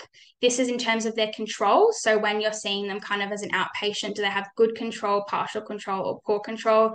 Don't worry about partial control, just is it good or is it bad? And that's just going to say, like, do I need to step up the thing? And they'll make it so obvious. It'll be like, no, I, I very rarely get anything. And I just sometimes have to use my SABA, whatever good control or is it poor control no like i'm getting all these nocturnal symptoms i'm using my puffer like three times a day yada yada yada and you're like Got to step up the approach, which we'll go through. And then in terms of this is what I was jumping ahead to. So if they're having an asthma attack, then you want to figure out is it mild, moderate, severe, or life threatening. So mild just being like they've got the asthma symptoms like some chest tightness, um, shortness of breath, but they've just all they've got really is some mild increased work of breathing, all the way through to life threatening where they're not speaking because they can't breathe, they're cyanotic, their work of breathing is through the roof. And again, they'll make it very obvious if they're on this side of the spectrum or this side of the spectrum, and if you're like super worried or not super worried. So, management in the acute setting, sorry. management in the acute setting, so mild, moderate, or severe. Um, so uh, a bit different here than adults. So for the mild, you're going to give them salbutamol. So salbutamol is a SABA. It's also called Ventolin. Um, and you give burst therapy, and I'll this is what burst therapy is, and you give it via a metered dose inhaler with a spacer. Spacer is really important. So it's really easy to remember this, which is nice. So it's um, if they're less than six years of age, you give six puffs and then you reassess after 20 minutes. If it's mild, then that's probably going to knock it on the head, and that's great. If not, you can just repeat it. Um, and then if they're more than six years, then you just double it, and it's 12 puffs, and then you reassess after 20 minutes. Great. And then we move on. If it's moderate, you're going to do the same thing. So um, you're going to give them a SABA six or 12 puffs, and then you'll repeat it um, every 20 minutes for one hour. And you also give them ipratropium or a SAMA, also called Atrovent, and you give them again burst therapy. But the burst therapy for a SAMA is four puffs if you're less than six years every 20 minutes for one hour. And then for over six years, again, you double it, eight puffs every 20 minutes for one hour. So that's nice and easy to remember. And then with the moderate, they may have some um, low sat, so you can support them along with some oxygen, which is nice. If it's severe, you're doing everything we just said, SABA, SAMA, but you're also going to give them some steroids. If this is not helping, it's good to know for your exams your second and your third line therapy. So your second line therapy is your IV aminophylline so, and or magnesium sulfate, and these are both just bronchodilators. And same with your IV salbutamol. Um, yeah. And then in terms of once they've you've gotten them through the acute asthma management, everyone's good. It's very important to go through discharge planning. You want to update their action, their asthma action plan. You want to go through inhaler technique because it's always poor and make sure they have GP follow up. Very important. Okay, and then in terms of chronic management, it's a little bit different for the different age groups. So if they're less than five years, so this is preschooler, um, you start with the SABA, always do, and then you add on your um, low dose ICS, and this is your preventer. And then the next one is actually adding on montelukast or a leukotriene antagonist, or you can increase your ICS. Um, and this is because for children less than five years, you can't give a LABA. There's no safety data on it, is the reason why. And then if they're six to 11 years old, you do the same thing as um, a less than five year old, but you can add a LABA as your um, as an alternative to say your Monty Montelukast or add it on when you step up again. And then beyond 11 years, it's just your normal adult management, which you would have learnt last year. So I just haven't gone through it today, but there we go. So cystic fibrosis, um, big, big condition. Um, so the etiology is um, it's an autosomal recessive mutation. I would remember that. Hint, hint. Um, and uh, it's of the CF transmembrane conduct conductance regulatory gene on chromosome 7. Um, and there's a bucket load of mutations, but in Australia, the most common is the Delta F508. Cool. Um, in terms of the um, epigenetics, one in 25 are carriers, and that's why we do the Guthrie heel prick test in neonates because it is quite common in terms of one of these um, hereditary diseases. In terms of the patho, so this is just good to know how it kind of affects the different organs in the body. And sometimes you can get like a counseling station on this. And obviously, you're not going to go through like the in-depth patho to um, the caregivers but it's good to have an idea of it so it's systemic epithelial chloride channel dysfunction so what this translates to is you don't have chloride kind of on the membrane and so um, sodium then follows the chloride and then water follows the sodium into the cell. So you have a dry membrane. That dry membrane then like kills off all the cilia because it's not um like floating in fluid. And then mucus hypersecretion to kind of counteract this dry membrane. And so then you have the stasis of mucus because you've got no cilia to flush it away. So stasis is the base basis for recurrent infection and then recurrent infection plus mucus sitting there and plugging up ducts leads to organ damage. Cool. So, in terms of the presentation, it's good to look at it what happens as an infant, what happens as a child, and then what happens as an adolescent. Um, and you just need to know kind of like a little few things about it in case it pops up on the exam slash counseling. So in infancy, you have um, you can get a meconium ileus, so that will be one of your presentations for bilious vomiting, and you'll probably have a GI lecture. So I won't go into more on that. Neonatal jaundice, you'll probably also have a lecture on that. So um, that's just from biliary obstruction, failure to thrive, failure to thrive um, because of the increased demands, pancreatic insufficiency, recurrent infections, pancreatic insufficiency. So that's your steatorrhea and your failure to thrive, and then recurrent infections. In childhood, developmental delay, just because you've got all of this stuff going on. Um, bronchiectasis, uh, which you would have learned about last year, but it's your productive cough, wheeze, bilateral coarse crepitations, and one of the conditions that causes clubbing. They can get rectal prolapse just because they're kind of chronically constipated. Um, sinusitis and nasal polyps, and then distal intestinal obstructive syndrome is just from the recurrent constipation causing recurrent bowel obstruction, sadly. And then in adolescence, so they can get allergic bronchopulmonary aspergillosis. Um, and this is just because they can get the weird and wonderful bugs. They always, and then these weird and fun, weird and wonderful bugs can then cause like hypersensitivity in the lungs, and that's the allergic component. They can get diabetes because by this point the pancreas is just getting exhausted. Um, then they can develop cirrhosis and gallstones because by this point the plugging in the biliary system can lead to cirrhosis. Pneumothorax because now their bronchiectasis is really bad, and unfortunately um, sterility as well. Bilateral absence of the vas. Okay, in terms of management, it's huge. Um, so I'm not going to go through it all today, just because it's like a lot. But um, in terms of investigations, as I mentioned, you do the newborn screening. So this is the Guthrie heel prick test, which is an immunoreactive pl- of the plasma tra- trypsinogen. Um, good to know, it's been a question before.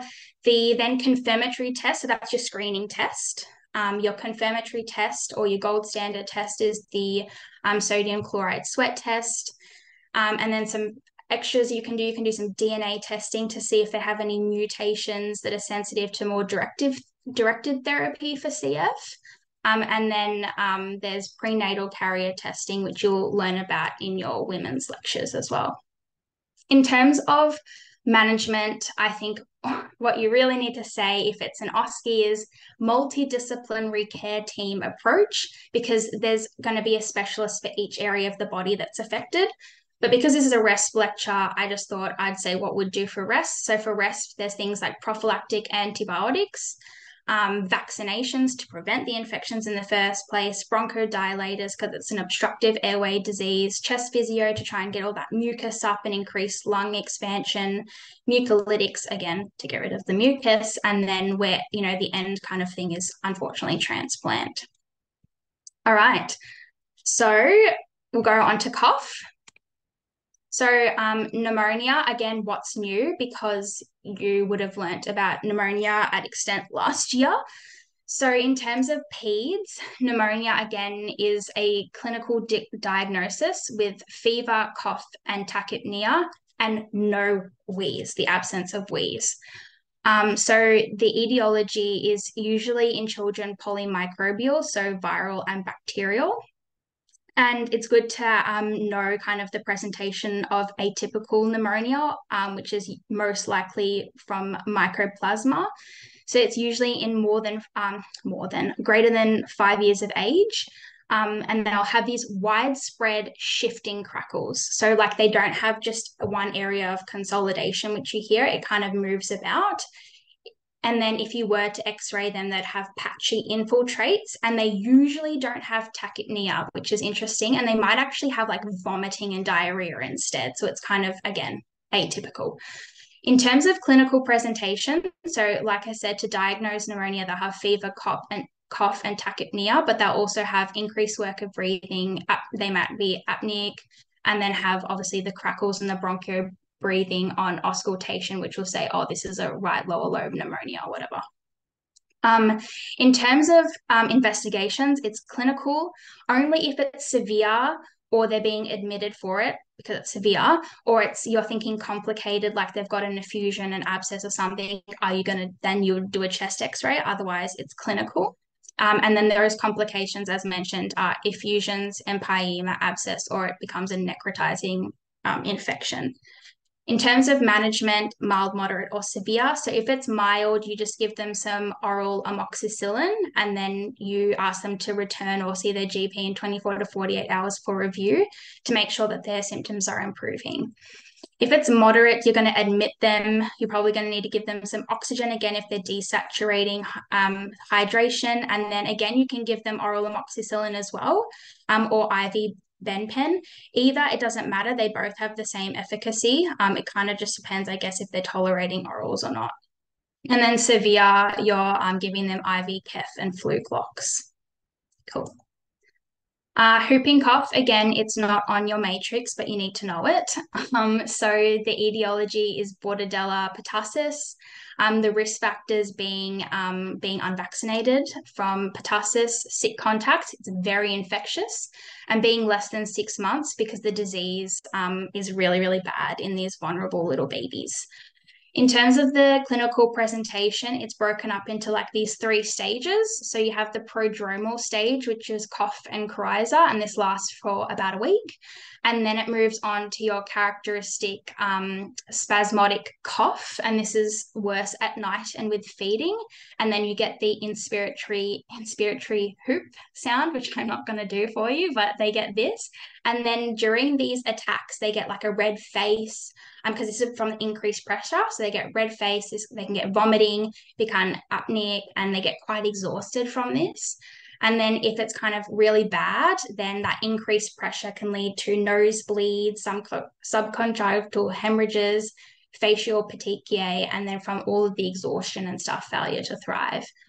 And then um, the third phase is this characteristic 100 day cough. So, this ongoing cough. Um, and like I said, every kind of infection, respiratory infection in children has this ongoing cough. And that's why kids are always coughing. In terms of investigation, surprise, surprise, it's clinical, um, minimal handling, and you'd only really swab them um, to find out if it for sure is Bordetella pertussis if you weren't sure or if it's required for like infection control purposes. In terms of management, if they're less than six months, you're going to admit them, and that's because the disease is really bad for um, these little babies. Um, like I said, it's also very infectious. So um, you need to discuss isolation. So if you're going to give them antibiotics, um, they need to be on antibiotics for five days before they can go out and not be isolated or wait until they've had the cough for greater than 21 days because they're infectious just prior to the cough starting and then for 21 days of the cough. Um, it's a reportable um, to the Department of Health and Human Services. And then the antibiotic of choice is clarithromycin or azithromycin. Um, and it's given in if they're in the this first phase, the prodromal phase, or early in the paroxysmal phase. And this is just to reduce the severity and spread. If it's later than that, then they're not kind of infectious anymore. So you're not going to be doing anything for the spread, and it's not going to really reduce any severity because they've kind of come out of the worst of it. So you're not going to give them antibiotics. Um, and then other indications for the sorry for antibiotics would be if you admitted them or they had some kind of complication from the whooping cough. Um, and then you'll vaccinate if they're not vaccinated, as well as vaccinating people around if they're not vaccinated. And then you can consider prophylactic antibiotics, um, depending on the stage of the illness um, and uh, who's sick contacts, really trying to protect those that are less than six months. And the prophylactic antibiotic of choice is the same as the treatment, so clarithromycin or azithromycin. All right, so we're moving on now to ENT. So that was RESP. Um, cool. So, oh, well, this is technically rest, but I put it in ENT because I thought it fit better. So, allergic rhinitis. I'm sure you guys all know what this is. Um, so, etiology. So, it's either if it's seasonal, we call it hay fever, or if it's perennial, it's just allergic rhinitis. Um, and then perennial will be like your mites or your dander or whatever it is. Um, epi, so 80% of asthmatics will have allergic rhinitis.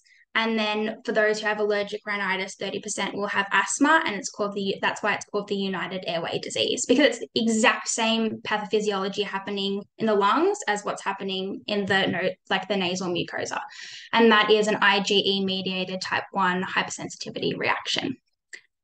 In terms of the clinical presentation, so you have bilateral watery, water, watery rhinorrhea, um, sneezing, congestion, itch. Itch is like um, allergy, um, altered sense of smell just from all of the congestion, conjunctivitis, sinusitis, and dermatitis all kind of come in with this as well. Um, and then again, it's a clinical diagnosis. Um, and then in terms of the management, it's a, a bit of a step up approach, similar to um, like asthma. So you start off with oral or intranasal antihistamines. And then if that's not working, then you can add on some corticosteroids intranasally. And then it depends on what's the predominant feature. So after that, so if their predominant feature is rhinorrhea, then you can try an intranasal SAMA. If their predominant symptom is conjunctivitis, then you'll use antihistamine eye drops. And then if they've got concurrent asthma, then montelukast is really good at kind of combating um, the asthma and allergic rhinitis components. So that's um, allergic rhinitis, pretty straightforward. Um, obstructive sleep apnea.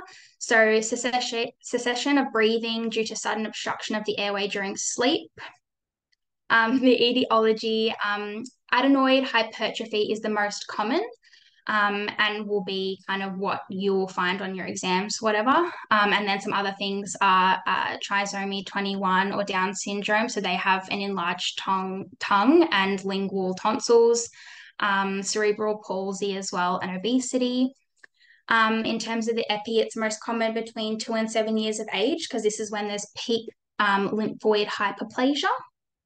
And then in terms of the patho, it's just they're getting poor uh, poor quality sleep and less sleep, and then this kind of translates to impaired memory, energy, um, recovery, and then it really messes around with your hormones, and so um, your leptin and your ghrelins all over the place, so it can promote obesity and insulin resistance, unfortunately in terms of clinical presentation, snoring, um, and then uh, caregivers might say they've seen um, cessation of breathing during sleep. Um, you might see that they're mouth breathing in a consultation, and then they might describe poor attention and school performance, failure to thrive because they've got this chronic increased work of breathing, which is very um, energy demanding. And then during the night, they might also have um, enuresis and sweating. In terms of investigations, um, there's the OSA 5, and this is really good at ruling out um, obstructive sleep apnea. Um, you can do an all overnight pul- pulse oximetry if you don't want to move to a sleep study because that is quite invasive. Um, but if this the pulse ox is like negative, then they still need to have a sleep study. So we generally just jump to the sleep study. Um, and then in terms of management, it's really treat the cause. So for most children, it'll be that they've got big adenoids. So you refer them on to ENT and they chop them out. Um, in the interim, you can give them some intranasal steroids just to help kind of reduce any inflammation that's there.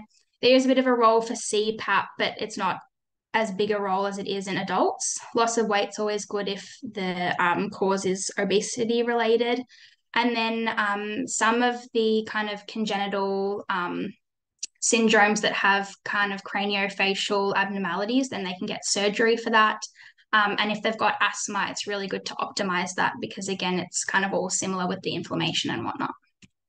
Oh, and this is adenoid facies, so very stereotypical with the like receding chin and the crooked nose, and that's actually because of always they can get like um either they have concurrent uh, allergic rhinitis or um, they've just from like kind of the inflammation and stuff that happens, they are always like wiping their nose up. So they get a crooked nose and like this little I think it's called the allergic salute or something like that.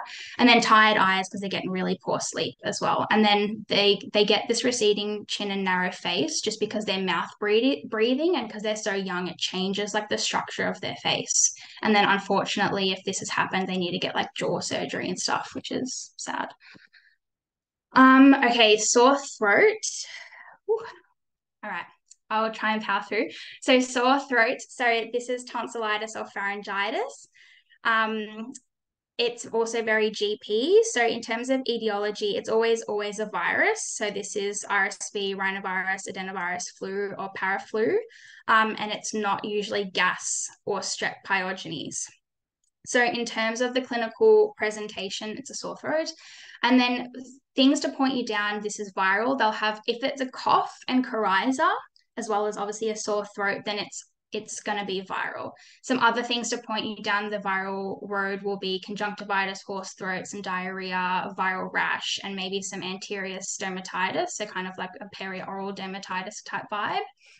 If it's bacterial, it'll be more of a sudden onset because it's more of a fulminant kind of disease. They'll have a high fever, some tender lymphadenopathy, and you look in their throat and they've got some gnarly like exudate from their tonsils in terms of investigations, you'll only do a throat swab if you think it's GAS, they're greater than four years of age, and they're high risk.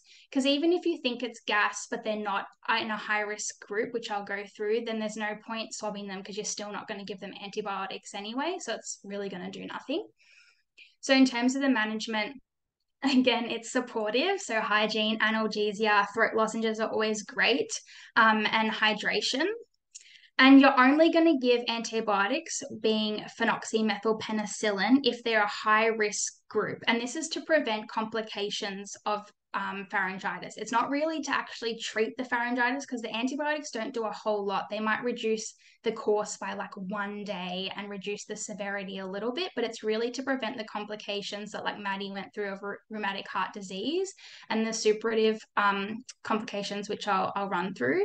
So these, so if they're any of the kind of high risk groups, so um, Aboriginal and Torres Strait Islander, Maori, or Pacific Islanders, personal or family history of rheumatic heart disease, immunocompromised, or they have a suppurative complication, which I'll go through. If you've given them their supportive therapy, but they're they're not really, they've still got a really sore throat, you can give them some steroids to kind of help with the inflammation. And then if they're getting recurrent episodes of tonsillitis, then you can do a tonsillectomy. So the, the complications, um, there's peritonsillar abscess or quinsy, retropharyngeal abscess, and scarlet fever. Um, so for quinsy and retropharyngeal abscess, these are deep neck infections. So for quinsy, it's kind of um, like an abscess within the tonsil, and so um, you get uh, uh, painful and difficulty swallowing. So odynophagia is painful swallowing, dysphagia is difficulty swallowing, and then this translates to drooling. They'll get um, trismus as well. So that's um, like they can't really open their mouth as wide because it's so tender. They get the um, like a hot potato voice. Um, they'll also have uvular deviation because now they've got a huge um, like abscess. And then you can refer to ENT to drain the abscess because you always want to get rid of the source and then you'll give them IV Ben-Pen. For retropharyngeal abscess, the abscess is lower down, so they'll it's um like a tender neck kind of mass. Again, they'll have painful difficulty swallowing, but because it's lower down, they'll get um a stiff neck or um torticollis, and then you can do a lateral um, neck x-ray as well just to see kind of the the size of the abscess. And then you'll be referring to ent for um, whether they need a drain or whatever and then you'll give them iv augmentin. And then scarlet fever is just from the GAS exotoxins and then it's more they're more vulnerable around 5 to 15 years of age.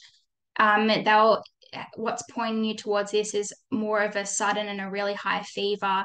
They'll have this very characteristic blanching sandpaper like rash that then desquamates after three to four days. So peeling off of the rash, gross.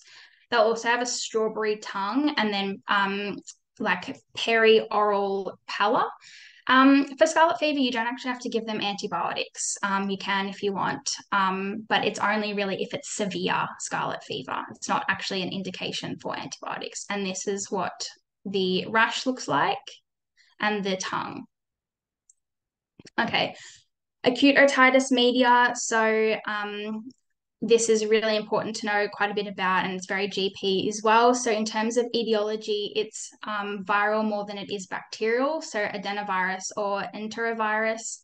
Um, and then the bacteria to know is strep pneum, H. influenzae, and Moraxella catarrhalis. Again, the risk factors are similar smoke exposure, winter, um, sick contacts in the form of um, childcare, adeno- adenoid hypertrophy as well, because it's preventing kind of the flow of the fluid. And then Turner syndrome, it's one of the things that can point you towards that. They get recurrent otitis media. In terms of the epi, it's more common between six and 18 months. And this is because they have a horizontal eustachian tube. So the drainage is not as good. And it's super duper common. So 75% of children have one episode before school. In terms of clinical presentation, it's acute ear pain. It's relieved by pulling the pinna. They'll have a fever, they'll be have anorexia, vomiting, and lethargy. It's actually quite a common cause of a febrile seizure because they have can get quite a high fever from it. And then in terms of investigations, you don't do anything except for look in their ear, and this is what you'll see here. So um, loss of light reflex, and that's because they have this opaque tympanic membrane, which is bulging and very red and vascular. Again, a theme, supportive therapy, hydrate, rest. Um, give them some analgesia, and then you'll wait and watch for 24 to 48 hours to see if it gets better. Um, you can give oral analgesia or you can actually put it in the ear. So lignocaine drops only if they don't have a perforation. Um, and then in terms of uh, antibiotics, it's oral amoxicillin is the choice of antibiotics. Um, and you'll only give it if they don't improve after 48 hours of supportive therapy if they're systemically unwell, so this is like very lethargic, pale, and irritable, or they're vulnerable, so less than six months, or Aboriginal and Torres Strait Islander or immunocompromised, or they have bilateral um, acute otitis media um, and they're young, they have cochlear implants, or this is their only good ear, like they're deaf in the other ear. These are the complications that you can get. So there's otitis media with effusion, chronic otitis media with effusion or glue ear, and then chronic suppurative otitis media. So these are what they all look like when you look in the ear. So if it's an effusion, this is just kind of like an incidental finding type thing. So it's just the persistent effusion that you get with acute otitis media, but there's no infection or inflammation left. It's just the fluid in the ear. Um, so there's no symptoms, and you just look in the ear, and it just you can just see the the fluid, which is grey white, like a bluey color. It's self limiting and 90% resolve within three months. However, if this goes on for longer than three months, that fluid in the ear in the ear becomes quite thick, and then this translates to conductive hearing loss, and then that can lead to kind of um, behavioral issues at school um, and so when you look in the ear, you'll kind of see this. You get this tympanic membrane retraction, which you can see here, and bubbling in the ear, which you can't see in this picture. And then this is when you would refer them on to for tympanostomy. So these are grommets to drain all the fluid. Um, and this is because it's causing hearing loss. And then for the chronic suppurative otitis media, this is when you have chronic infection plus a perforation. So you have purulent um, discharge coming out of the ear for greater than six weeks. Because you have the perforation, you have this conductive hearing loss. It's painless because if there's a perforation, it's painless because um, you don't have that increased pressure anymore. Um, but there isn't a high risk of intracranial infection and mastoiditis for obvious reasons. And then you need a dry aural toilet, so keep getting rid of the pus, and then you can put some antibiotic drops in. And then last two complications are a perforation. So if there's a perforation, that's actually causes relief of pain, and then they'll have um, discharge coming out of their ear. And then mastoiditis is actually the most common um, complication, but it is extremely rare.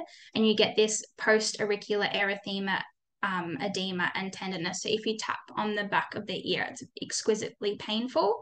And then these guys need some IV antibiotics and ENT.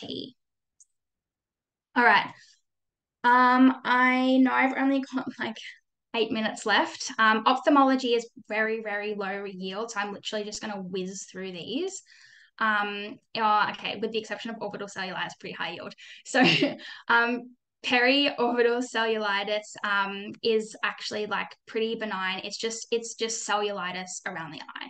So, um, orbital cellulitis though is a medical emergency. So I've put the things in red, which are um, like your red flags and it's really good to just kind of compare the two. So orbital is where it's not it's not only pre-septal cellulitis but it's gone behind. So it's deep orbital subcutaneous tissue as well as the extraocular muscles. And it's usually following like a sinus infection so 80% um, and then there's some other causes here both cause a unilateral red, swollen, painful eye. But the real differentiator is for orbital, it's really, it's tender to move the eye. And they'll also be systemically unwell with a fever and malaise. And you're really worried and you really want to ask about headache because this might um, point you towards an intracranial infection. Any changes to vision, so double vision, reduced acuity, and then an afferent pupillary defect, and then um, proptosis as well might point you towards an abscess. And then for orbital cellulitis, you need to, this is a medical emergency, so you need to admit them nil by mouth because they may need some kind of procedure, ophthal and ENT urgently they'll probably do a contrast CT to just find out if there's any complications. And then because they're systemically unwell, you need to do like septic workup with an FBE and cultures. And they'll need IV broad spectrum antibiotics and then daily ophthal um, review to make sure that their visual acuity is okay. Contrast is the orbital cellulitis. Just think of it as cellulitis around the eye. If it's mild, they've literally just got the cellulitis around the eye. You just give them some oral kef but if it's moderate in terms, it's really quite painful and it's causing the eye to kind of close over, then you'll give IV in the form of Fluclox or Kef. Cool. Um, and then last three conditions, just quickly buzz through them. So retinoblastoma, it's a tumor of the retina. Um, it's a tumor from the retinoblastoma 1 tumor suppressor gene mutation. It kind of can be heritable. So this is most likely autosomal dominant. If it's that, it'll be bilateral and multifocal, meaning they'll have tumors elsewhere in their body because it's a tumor suppressor gene mutation. Um, if it's spontaneous, it'll just be unilateral, like in this picture, poor little guy. In terms of clinical presentation, if it's not just kind of picked up through doing like a um, red reflex, they might present with strabismus or a bit of eye pain just from the growing of the tumor. And then the red reflex, which we do in newborn exams, you'll see leukocoria. And then ophthal and oncology can deal with that. You don't need to know the management. Cool. Cataract never comes up. But anyway, um, it's cataract, so a, a pacification of the lens. Etiology can be hereditary, so autosomal dominant. Um, it can be congenital, so rubella and varicella. Um, and then some other things can cause it too. In terms of clinical presentation, because they're not getting the visual stimulus in their eye, they can get like nystagmus, their eye just like wigs out, strabismus, which I'll go through on the next slide really quickly. Um, so just like a squint or a lazy eye, photophobia, because obviously the light causes like the scattering of the light, and then a developmental delay because they're not getting visual cues. Um, and then in terms of complication, they can have visual loss because their brain's not being given um, like visual stimulus. So they just like shut off the eye, is how I think of it.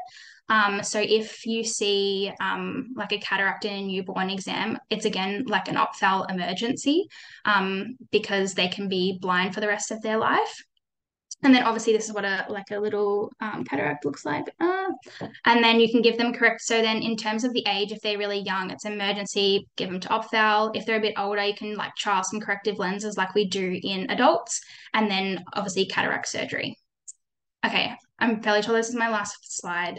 Sorry i'm banging on for ages Ooh, strabismus, so misalignment of the la- of the eyes. It's colloquial called squint. Um, so the etiology can be anything that kind of prevents the visual stimulus to the eye. So we just went through retinoblastoma and cataracts, a refractive area, uh, a refractive error, so near or long-sightedness, and then premies as well, just because they have like underdeveloped eyes and whatnot.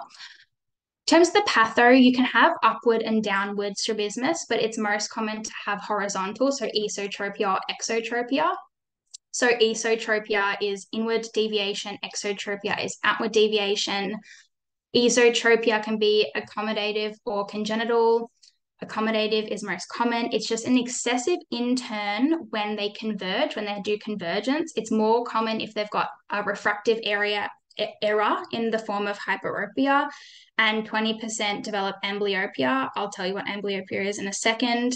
Congenital is like an obvious intern. Um, they don't have a refractive area er, error, and they like um, most of them will get amblyopia. And then exotropia is just an intermittent outward turn when they're tired. Um, and so, in terms of um, the issue with this is amblyopia. So if the eye is not is like lazy, then it's again not getting visual stimulus. So the brain literally is like stuff it and just like closes off that eye and then they can become like blind in that eye and that's what amblyopia is um, so what we do is it's really cute you like patch the good eye and so then the bad eye has to like work and actually like catch all of the visual stimulus and stuff and then it can correct the um, squint. And you can like there's different times you don't have to patch it all the time because then they go to school and they get teased and it's like not fun. Um, and then if they've got hyperopia you can give them corrective lenses they can have cute little glasses.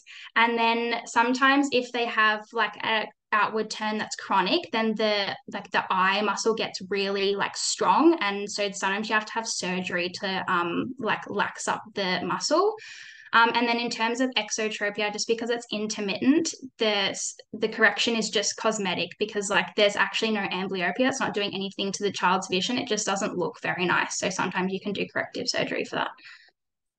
Oh my goodness. I'm so sorry that took so long. Um, thanks guys. I, I don't know if you guys have any questions. Yeah thanks for that louise. Um, so we had a couple of questions. One question was how do you tell the difference between uh, bronchiolitis and asthma? Um yeah good question. So bronchiolitis is going to be in like a younger child, so less than 12 months. Not to say that you can't get it when you're older.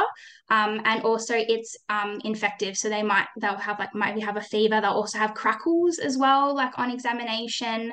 Um, and it'll be more kind of this gradual thing that's happening, whereas asthma will be an acute onset, um, like wheeze, chest tightness. They don't usually have crackles. They're not really infective. I mean, yes, they can have like a like a fever, like a viral in like a viral induced wheeze. Um, so I guess that makes it a bit different, but um, it'll be very clear on your exams as well. And you'll know that it's bronchiolitis because it'll be kind of this gradual onset. They'll have sick contacts. They'll be less than 12 months. They'll have the widespread wheeze, the crackles, the fever, and they'll be like dehydrated. Yeah. Um, thank you. another question about asthma. Do we need to know much about chronic management of asthma in like um, kids, adolescents, and teenagers kind of thing? No, I don't think so. It didn't come up for us in terms all, of our. Oh, sorry, yeah. sorry, you go. No, I was just going to say it was mainly, management, wasn't it? Yeah, I think uh, if you're going to remember anything for management and PEDS for asthma, it's acute management. The burst therapy that we went through, I think that's really high yield. You can get a question on that, and you can also get like a, probably an OSCE on that. I think chronic management, you'll probably have an older person, and that will be in GP land. Um, yeah, any other questions? If anyone's got them, please feel free to send them through. Um, in addition, yeah, you can just you can just send them in the chat, and then I can answer them as so the next person can do theirs. Yeah. In addition to getting hundred percent on the PEDS exam and winning the PEDS prize, Louise um also got like a bunch of other commendations last year and just going to the Alfred next year. So like, if you have any questions at all, please feel free to send them through. Ooh, one came through. Let's see what that says.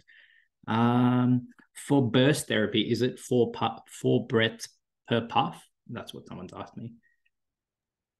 Sorry, what was that for burst therapy? Is it? Is it four breaths per puff? Um. So, oh gosh, this is testing me. So you do like um the puffs like puff them in and then they yeah they just keep breathing because it all goes into the spacer. So it's hard for children to like coordinate. So that's why we use a spacer. It's really important. So it's hard for children to coordinate like one puff one breath. I think like i would struggle with coordinating that. Um so you just puff it all into the spacer and that's why it's there because it can sit around in there and then they can just breathe it in as they go. Does that make does that make sense I'm sure they'll let us know if it doesn't. Another question: How do I how do I ace the women's exam? Oh, I, yeah, I don't know how to answer that one. Sorry. Uh yeah, just know know the prompt guideline. Yeah. Sadly, yeah. And then another one saying, "How do I become you?" Um, I'm sure that's meant for you and not me, because yeah. All right, cool. Um, we might take a quick five minute break before we get Rachel on, just because we've been going for about two hours now. Um, feel free to set, keep sending questions through. Um, as well. Uh, and I'll, I'll just we'll just give it a, a quick break and then we'll come back after that in about five minutes. Thanks, guys.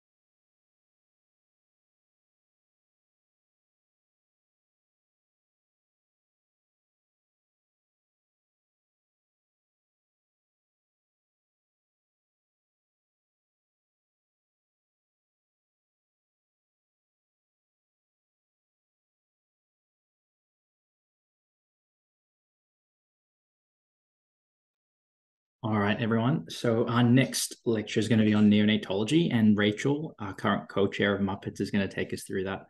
Rachel's pretty much already a pediatrician, so everything that Rachel says is gold, um, and and you can, you know, lap it all up because it'll be it'll be super high yield and, and really good. So, um, take it away, Rachel.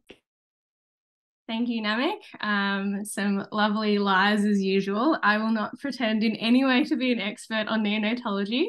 Um, but we'll give it a crack today. Um, if you do have questions, pop them in. I will probably not know the answer, but we'll give it a go anyway.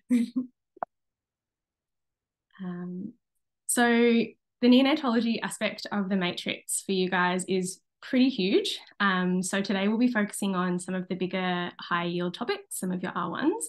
Um, there is a large amount of content, which unfortunately we won't be able to cover in an hour today. Um, but some of these topics are also covered in like respiratory and cardiology and surge, as well as um, in some of your women's health content. So um, hopefully today we'll be able to cover cover the big things.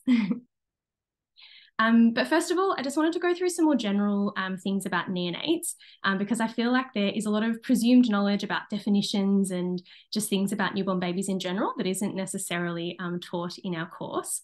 Um, so first of all, I've just got on this slide um, some information about some age groups and specifically around gestational ages. Um, so particularly for preterm neonates, um, gestational age um, is really important, both from a predictive perspective and also in terms of how um, we manage these infants. But I wanted to focus on the terms chronological age and corrected age, because I think this is an, a common point of confusion for students. So we use corrected age whenever we have a preterm infant, so someone who's less than 37 weeks. And we use it specifically when we're talking about their growth and development. Because as you can imagine, um, a bub that's born however many weeks early, we can't really expect to be at the same developmental and growth stages as their peers who were born at term. So the way that we calculate that is we work out their gestational age. So when um, when they were born, so if they were born at 28 weeks gestation, we then minus that from 40, which where is what they should have been at term, um, and then whatever that um, that age is. So if it's a 28 week, it'd be a 12 week age gap. We then minus 12 weeks from whatever their normal chronological age from birth is. Um, so it's important to use that whenever we're plotting growth charts um, and also when we're thinking about developmental milestones like rolling and crawling and speaking um, and is a, a, really important thing to also um, be talking to parents about um, because as you can imagine if they've got someone who they know who's also got a three month old but their three month old might actually be a lot more advanced um, because they were born at term as opposed to preterm. Um, next, I want to just briefly touch upon weight, because obviously weight is something that we measure really closely um, in the neonatal um, age ranges. Um, so I've just got some definitions on there um, regarding different terms we use when we talk about weight. So we can talk about weight with regards to whether um, an infant is born large for their gestational age or small for their gestational age, and we, we do that based on centiles. Um, we can then also classify their birth weight as being um, normal, low, very low, or extremely low. Um, these are important um, for management initially, and also because they give us predictive values with regards to kind of more longer term outcomes. Um, so things like cerebral palsy is going to be more common in um, infants who are born of extremely low birth weight with regards to weight going forward after bub is born, um, so a 10% drop in birth weight is normal. Um, so in the first five days of life, um, babies will drop their birth weight. And it's often quite scary for parents to think that their baby is losing weight, but this is very normal. But it has they have to have regained that weight within the first um, two, two weeks of life. So that's, again, measured quite closely. And I've just popped up here in the corner as well, um, kind of some average weight gain per week, um, depending on the different months as well. So that's from some of the RCH guidelines. Um, and then with regards to measuring Bub as well, off some maybe on some of your placements, you've been asked um, to help um, weigh a baby. And so I've just popped some um, helpful hints as to how to do that as well um, and just making sure that when we're plotting weight, we're putting it um, on their corrected um, growth chart if need be. Um, so lastly, on our little kind of summary of neonates, um, so what do neonates actually do? Um, so again, these things are probably less likely to be on your exam, but I thought they're just more useful things for day to day when you're on the wards, if you're working, um, you know, either in a maternity ward or um, in a special care nursery, just about what kind of things um, babies do. Um, so they spend a lot of time sleeping, they spend a lot of time feeding. Um, and with regards to their feeding, um, it can often be quite stressful for parents initially when trying to initiate that feeding and making sure that we're referring to lactation consultants and midwives really early to help um, support that. Um, in terms of vomiting, obviously this um, will be covered more in our GIT stuff, but um, small possets, so um, milky vomits are normal um, after a feed if they're small, um, but they should never be green. Green is always pathological. And in terms of bladder and bowel movements, so 24 hours is kind of our key marker as a general rule. they have to have passed urine and passed their meconium within that first 24 hours. Otherwise, we start to get really worried that there might be some obstructive or other causes as to why that hasn't happened. Okay, so our first big topic, prematurity. This is obviously a huge topic and it also has a bit of overlap with women's, um, but we'll try to go through it as and summarize it as quickly as we can. So um, more generally, um, uh, bub is preterm if they are less than 37 weeks.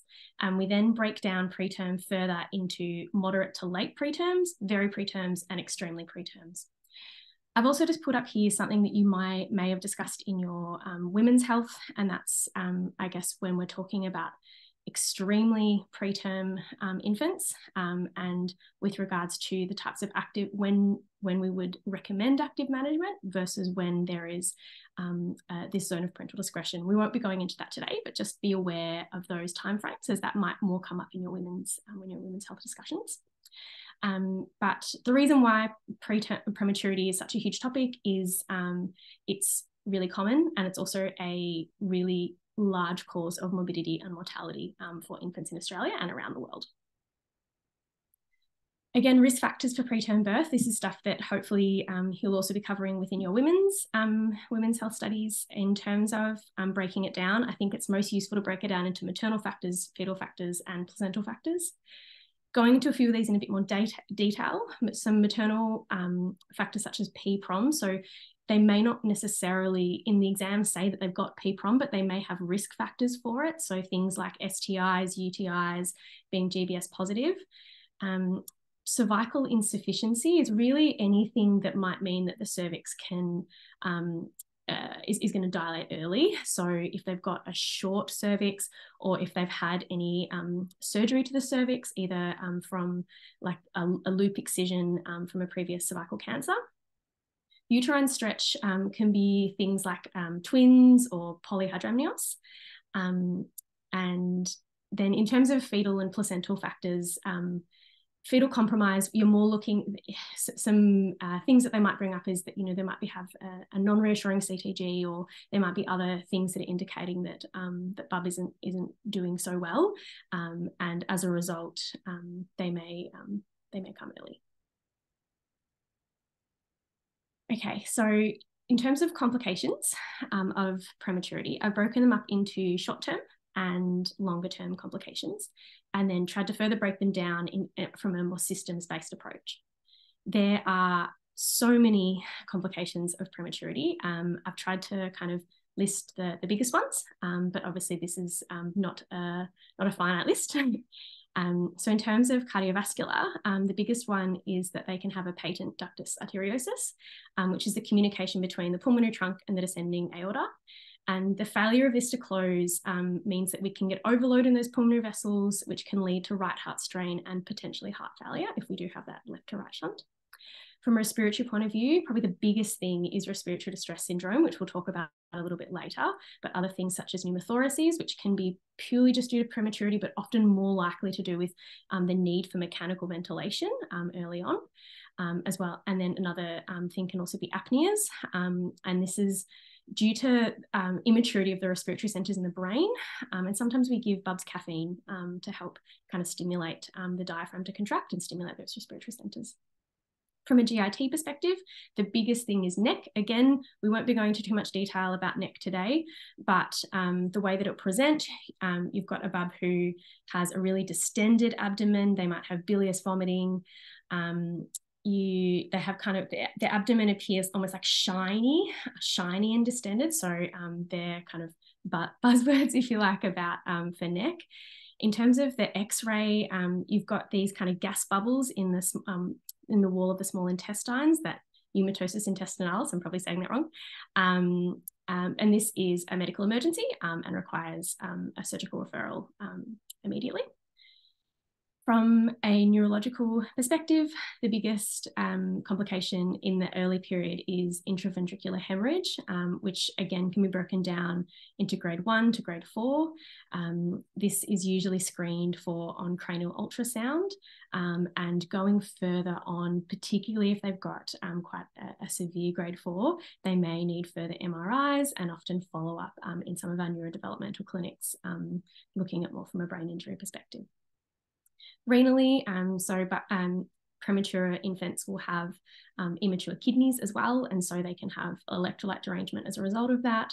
Um, also, um, things like dehydration, if they're not able to feed well enough, is also going to cause some of those electrolyte disturbances.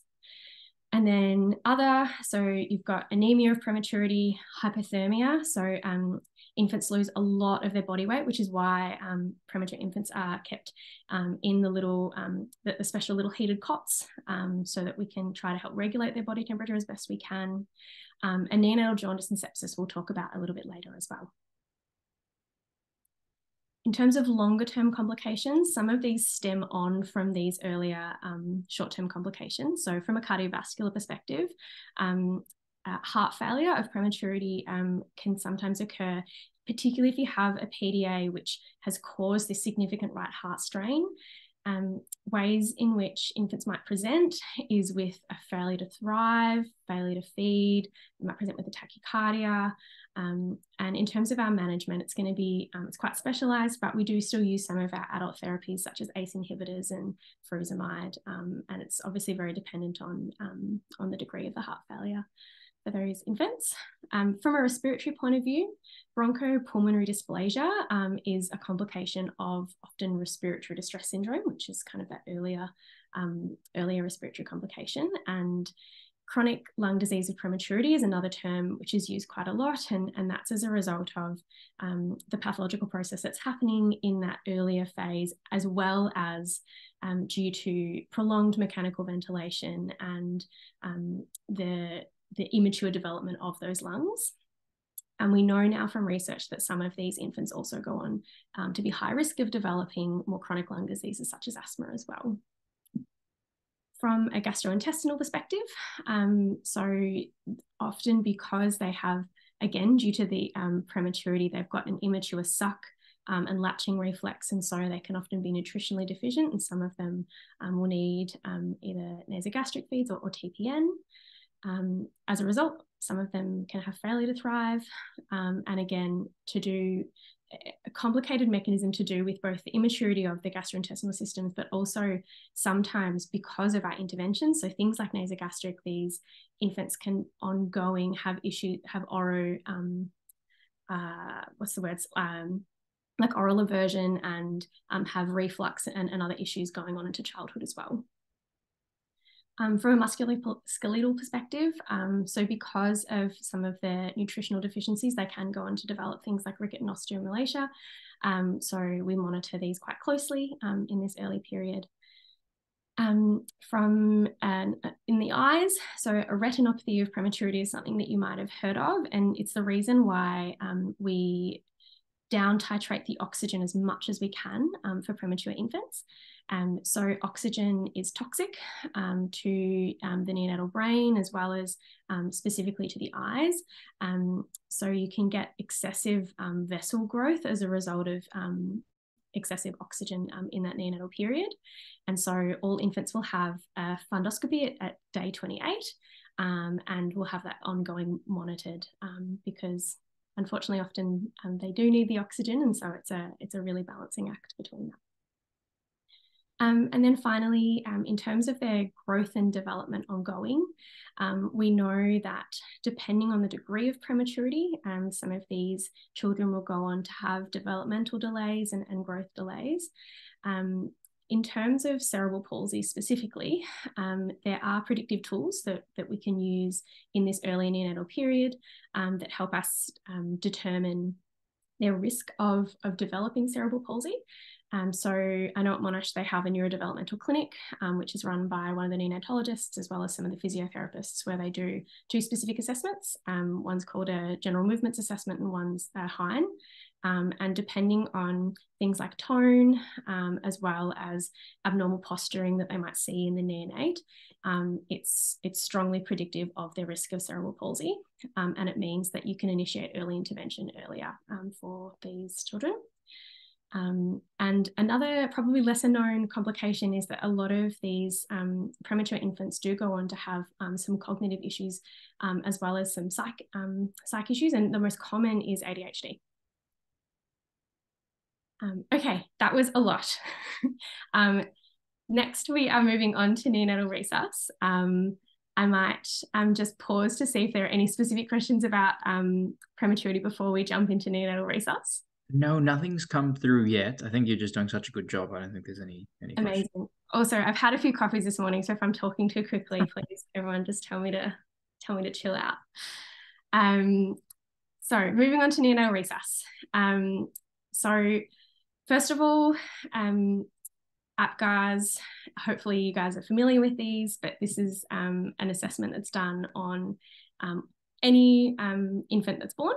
Um, and so I like this uh, little diagram here. I feel like it um, quantifies it quite nicely um, as to what you're looking for. Um, so the APGARs are not done immediately at birth. They're done at one minute, five minutes. And then if they're abnormal at five minutes, they're done again at 10 minutes. Um, and we use them because they help predict the need for resus immediately.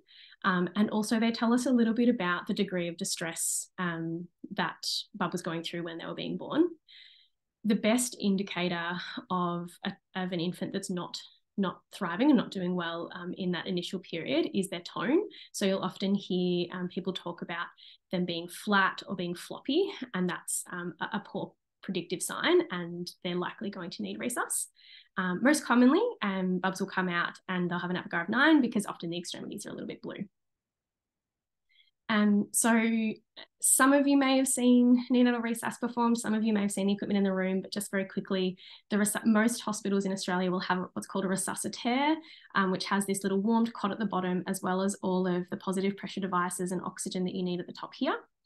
In lower resource settings, they'll have a neonatal bag and mask, um, which is more similar to what you would um, typically associate with bag mask in adults. Um, and this is just a close up of um, what the, the neopuff looks like. So um, the neopuff enables you to deliver positive pressure ventilation either via CPAP or intermittent positive pressure ventilation. The way that it works, so this is a, um, a portable version of what's on here. So for CPAP, you set um, a, a PEEP, a pressure, and it's typically started at five. And so if you hold this mask over the infant, over the infant, um, and don't occlude the hole, it's delivering um, a pressure of five, a PEEP of five.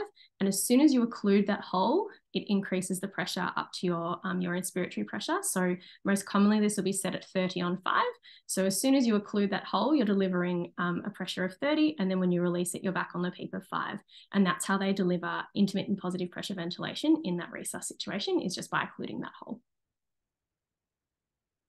Okay, so this diagram is the most important thing to learn for neonatal resus. It's what they will um, examine you on, and it's also what you will use in the hospitals in everyday life. Um, so we'll just go through kind of each step of the flowchart here. So the main questions that you want to ask in that first minute of life is, do you already know that this is a preterm baby that's going to need, likely going to need more respiratory support, or are they term? Are they crying? Are they breathing? And do they have if, and do they have good tone? If you answer no to any of those questions, you want to start the timer. And that's something that as a medical student, you can definitely do. You can press that timer. Um, uh, and there's it's often it's on that resuscitaire um, device. Um, and then you're going to start going through this pathway.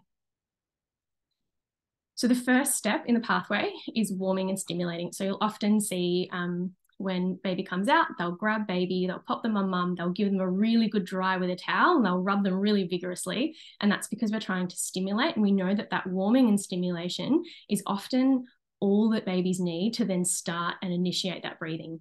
Um, but um, so that's always our first step. So um, if we're really worried, we might take we might cut the cord a little bit earlier and take them over to the resuscitaire earlier. But otherwise, initially, it is we want to have that delayed cord clamping and have them um, skin to skin. Um, and yeah, the drying is literally just rubbing them with a warm towel. Next, we move on to airway. Um, so airway must be maintained in neutral. So you don't want to be providing excessive extension. Often, because of the size of um, infants' occiput, they are in a more flexed position at rest. And so you want to just bring them into that neutral position. You don't use any towels. You don't want to like bring them into like a sniffing or any position like that. You want them in perfect neutral.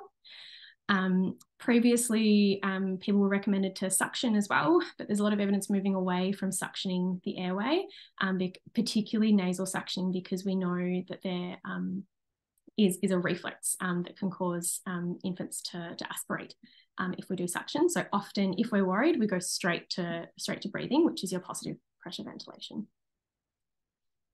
So in terms of assessing breathing, if they are gasping, if they're having apneas, or if there's just no obvious breath sounds, or alternatively, if their heart rate, if you measure their heart rate and it's less than 100, you're commencing intermittent positive pressure ventilation straight away. As I said, you're using that little Neopuff device um, and you're starting on pressures of 30 on 5. Depending on whether they're term or preterm, determines your starting oxygen um, concentration.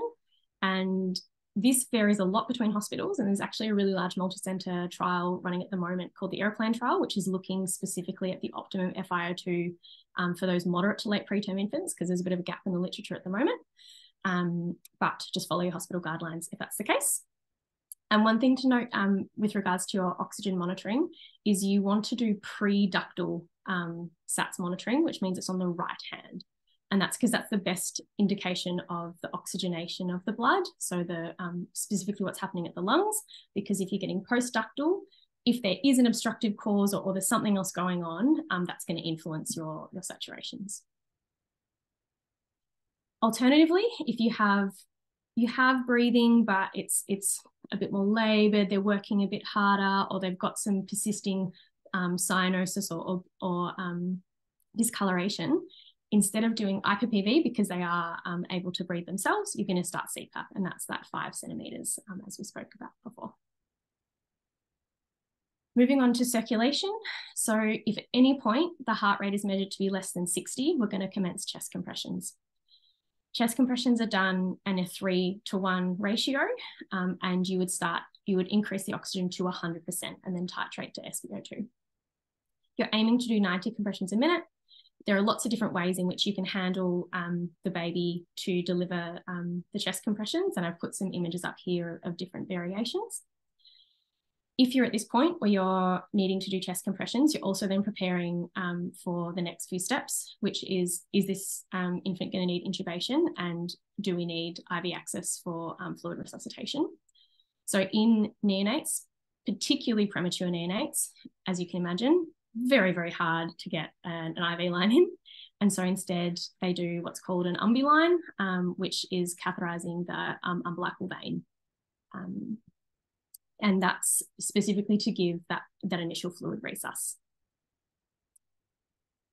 So if we're um, giving compressions and the heart rate still less than 60, this is when we're then escalating onto our adrenaline and our fluid resus.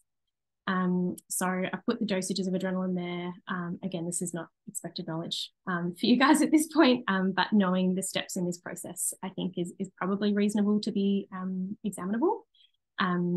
Um, and in terms of our, our resus fluids, so we can give normal saline and um, packed red blood cells. So if they've had a massive antepartum hemorrhage, if Bub's really pale, they might consider giving packed red cells instead as well.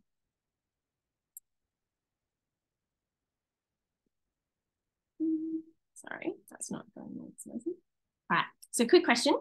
Um, baby is born at 39 weeks via forceps after non-reassuring CTG during the second stage of labour. At delivery, they're blue, apneic, and floppy. What is the most appropriate next step? Please don't feel like you have to chuck it in the chat. Just, you know, mentally have a think about it.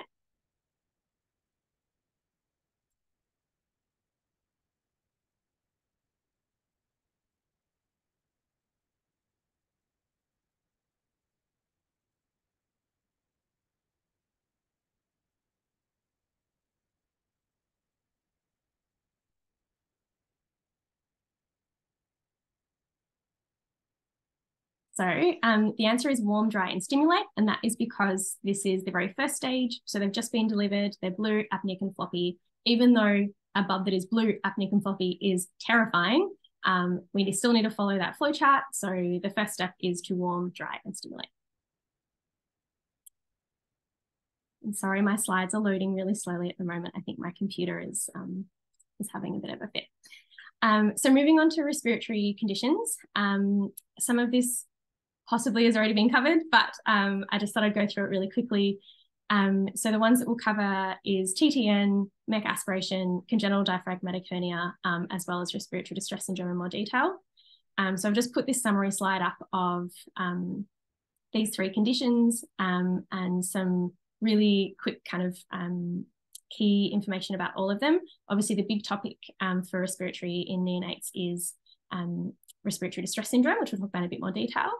Um, but important things about TTN, so it's more common in a term if they've had a C-section and if they're male. Um, it's this effortless tachypnea, and so um, it's more a diagnosis of exclusion. Um, so you do still investigate for other causes. On X-ray, you see this fluid in the horizontal fissure, um, which is um, what you can see here, and they've often got really big lung volumes. Um, this often, thankfully, resolves quite quickly, so it can resolve within the first 72 hours, um, and we just give them supportive, whether it's oxygen therapy or um, proning them for periods of time. Obviously, proning in a neonate is with constant supervision um, in that special care NICU. We otherwise wouldn't recommend children sleeping on their tummies. but That's a side point. Um, MEC aspiration syndrome. So um, this is literally where the infant has aspirated meconium. So they have passed their meconium um, in utero and then they have aspirated it. And this causes like a chemical pneumonitis, which is what you can see here on the X-ray. Um, and so more commonly, um, this happens in post-term neonates um, because they have kind of stayed in for a little bit too long and therefore have passed their MEC already. Or alternatively, if they're in, um, if there's elements of fetal distress, um, if you imagine like, you know, bub like pooing their pants because they're scared and nervous or something, um, but that's how, that's how I remember it. So they're either really distressed and so they do a poo or um, they've been in there too long and so then they just do a poo. Um, so you see these um, patchy opacities, which is that chemical pneumonitis. And again, we give it's mainly supportive therapy, but it does take quite a, a bit longer to recover from. Um, congenital diaphragmatic hernia is a medical emergency. Um, sometimes this can be picked up um, a bit later, and that's when you might see a bub who has that typical scaphoid abdomen, which is where um, they've got like almost like a huge chest um, and then a really skinny tummy. Um, on chest x-ray, it's um, got this really characteristic picture where you can literally see bowel um, in the chest there. So it's where there's a herniation of the bowel through um, the diaphragm, um, diaphragmatic foramen um, into the chest. As a result, because this happens in utero, um, you also have um, plastic development of the lung on that side. So you'll have a, a very very small or almost insignificant lung on that side as well. Um, most important thing is that we do not bag mask or give positive pressure to these um, we can't bag mask these um, neonates um, because obviously we're increasing that um, intrathoracic pressure in there as well, which is already really high with the bowel there. Okay, um, I promise not to bore you with embryology, but just very quickly, when we're talking about respiratory distress syndrome, it all relates back to surfactant. Um, so surfactant is produced by um, type 2 um, alveolar cells quite late in embryonic development. Um, so infants that are born prematurely um, may not have differentiated into those um, AT2 cells. And they're also going to have an immature immune system, which means that they're um, the macrophages and um, that are that help with the homeostasis of surfactant within the alveolus are also um, going to be immature. And so, as well as an absolute surfactant deficiency, they also have surfactant dysfunction. Um, so if you remember back to pre-clin days, um, surfactant helps us to reduce the surface tension of the alveoli, which means that it's less likely to collapse um, when we have um, changes in our intrathoracic pressure. And so without surfactant, it means that with respiration, we can have atelectasis of the alveoli. Um, so it was pre respiratory distress syndrome was previously known as hyaline membranous disease, um, but it's now known as respiratory distress syndrome, and it predominantly affects preterm neonates, um, and that is because of that surfactant deficiency and dysfunction. Um, and it's characterized by abnormal um, respiratory function as well as um, hypoxia and hypoxemia. So, biggest risk factor is preterm birth, and particularly if um, there hasn't been any maternal antenatal steroids. Um, very rarely you can have genetic surfactant deficiencies, but I would say more often than not, it's um, more to do with preterm. Um, complications of respiratory distress syndrome, we spoke a little bit about, but bronchopulmonary dysplasia, as well as death and disability, uh, uh, is the reason why um, it's such an enormous topic and an issue in neonatology. So clinical features is literally just an infant that is in respiratory distress. So tachypnea, nasal flaring, grunting, intercostal retraction, cyanosis. And I've put some pictures down here of, of what that might look like. Um, previously, um, for a diagnosis of RDS, you had to have radiological um, features of RDS, whereas now there's definitely a move towards this being a clinical diagnosis. And as soon as you have an infant with risk factors, so if they're preterm and they have signs of respiratory distress or an increasing FiO2 requirement, we are treating early. In terms of radiological features, which might come up on an exam, so you, have got these ground glass opacities, so it's kind of um, homogeneous the whole way across the lungs. You've got reduced lung volumes. Um, it's symmetrical on both sides. Um, and you have, if you can look really closely, you can see these air bronchograms, so the darker areas where you can see um, those air bronchograms coming through that more um, kind of consolidated picture there. So in terms of our management, there's things that we do we can do to prevent it, such as the antenatal corticosteroids. Um, but in terms of what we can do when we have a, a bub who's presenting with um, RDS, the, the biggest things that are going to affect um, long term prognosis is early initiation of non invasive ventilation, such as CPAP, and most commonly, this is nasal CPAP, um, and early surfactant replacement therapy. Traditionally, surfactant replacement, um, which is um, kind of exogenous surfactant, which has either been made synthetically or from animals, um, and it's literally um, like dropping in surfactant into the trachea and the lungs of these infants that don't have enough surfactant. Traditionally, that was only able to be done um, via intubation and mechanic mechanical ventilation, which has its own risk factors in itself. Um, so we know that mechanical ventilation increases rates of pneumothoraces as well as um, kind of chronic lung disease and bronchopulmonary dysplasia, and um, it also has implications on um, uh, rates of intraventricular hemorrhage and things like that. So now the evidence is more moving towards trying to avoid intubation and mechanical ventilation wherever possible. And so there are two new techniques, um, which you may have heard either on the wards or in your lectures, um, which is MIST and LISA. So it's minimally invasive surfactant therapy or um, less invasive surfactant administration. And this is where Bub will stay on CPAP um, and either using Magill's forceps or a laryngoscope, they then insert a thin catheter through the vocal cords and then um, instill in little aliquots um, surfactant through those catheters um, into the trachea directly and then remove it afterwards. So they stay on CPAP the whole time. They don't need to have a tube put in and they don't need to be mechanically ventilated.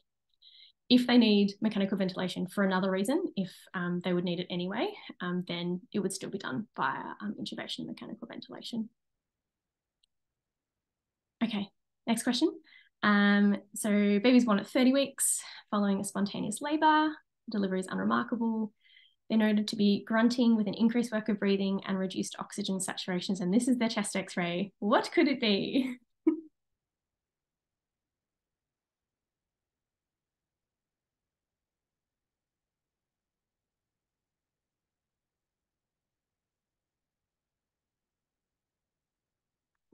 Um, so this again is a very typical um, presentation for respiratory distress syndrome. So we've got a premature infant um, who has got some signs of increased work of, increased work of breathing and respiratory distress. And on this chest x-ray, we've got these ground glass opacities with the air bronchograms. All right, spot diagnosis.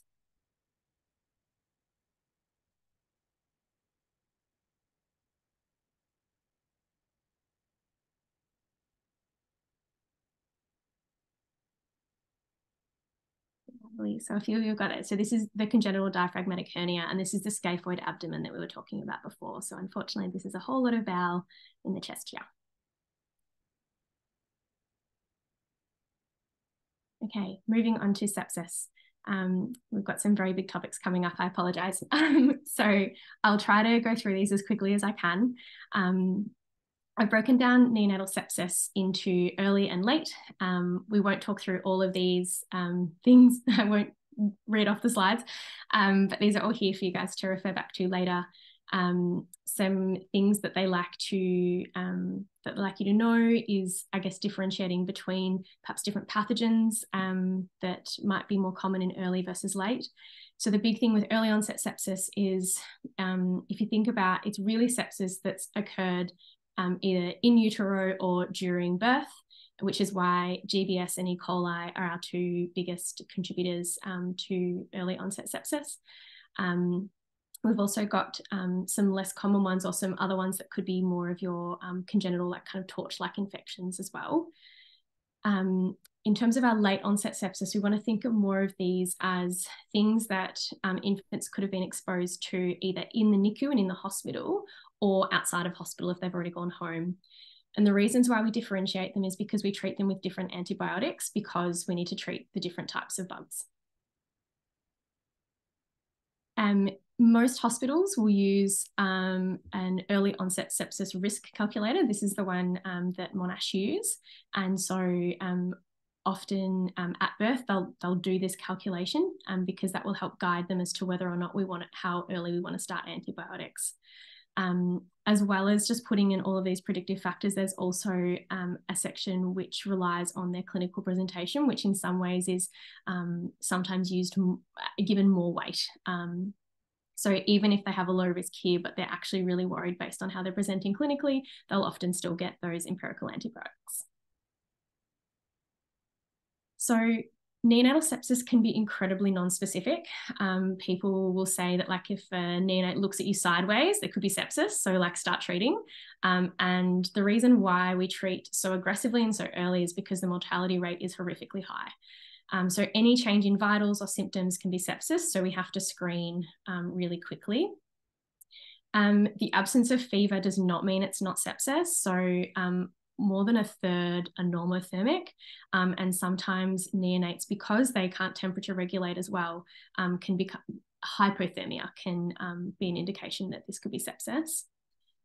Um, again, I've tried to group it into um, kind of a systems-based approach, um, so you can use this for your revision.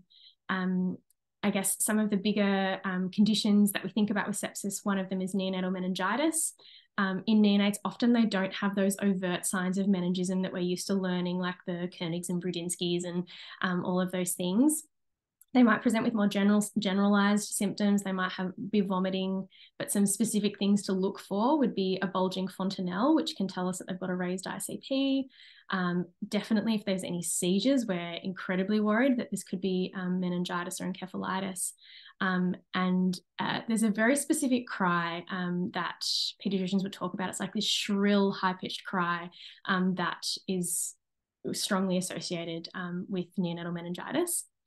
Um, in terms of like neonatal pneumonia, again, we're looking for those signs of increased work of breathing. So the tachypnea, the nasal flaring, any slight change in their oxygen saturations that might flag that this um, child might have sepsis.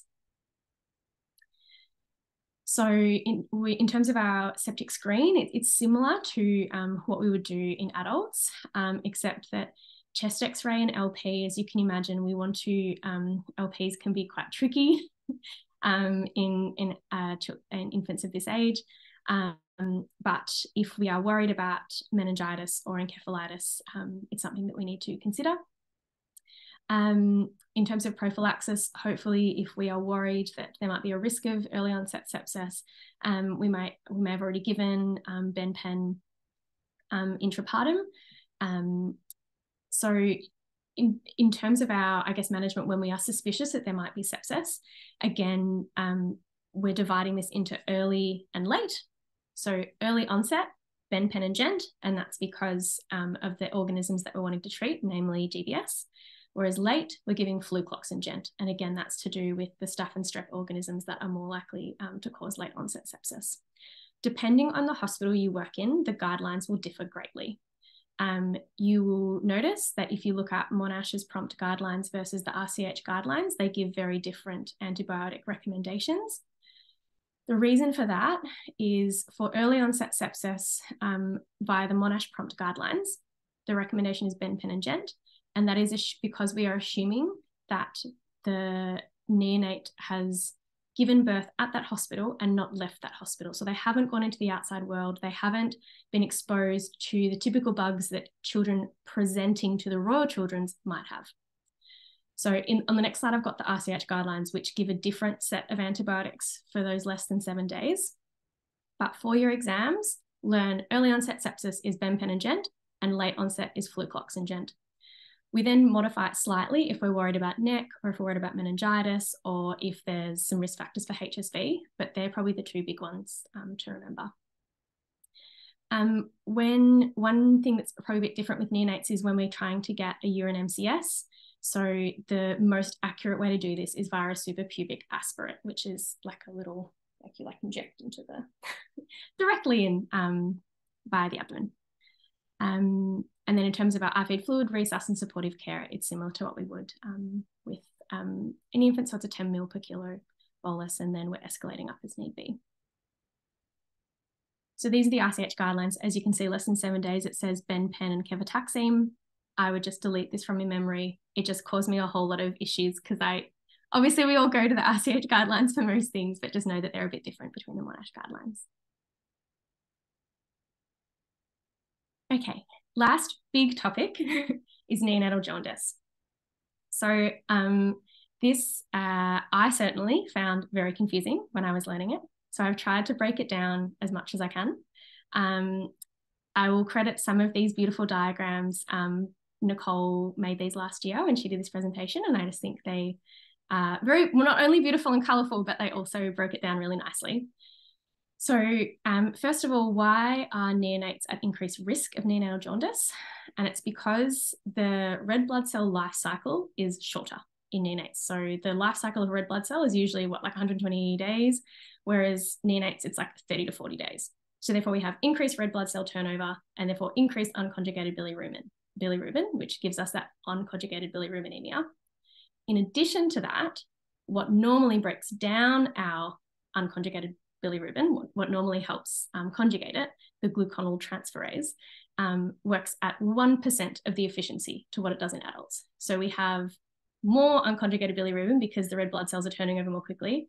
And we also have uh, the glucuronyl transferase, it isn't really working very well. It works at like 1%, it's barely doing anything at all. So therefore, we already have a situation where neonates are going to be presenting more jaundice. So why do we care?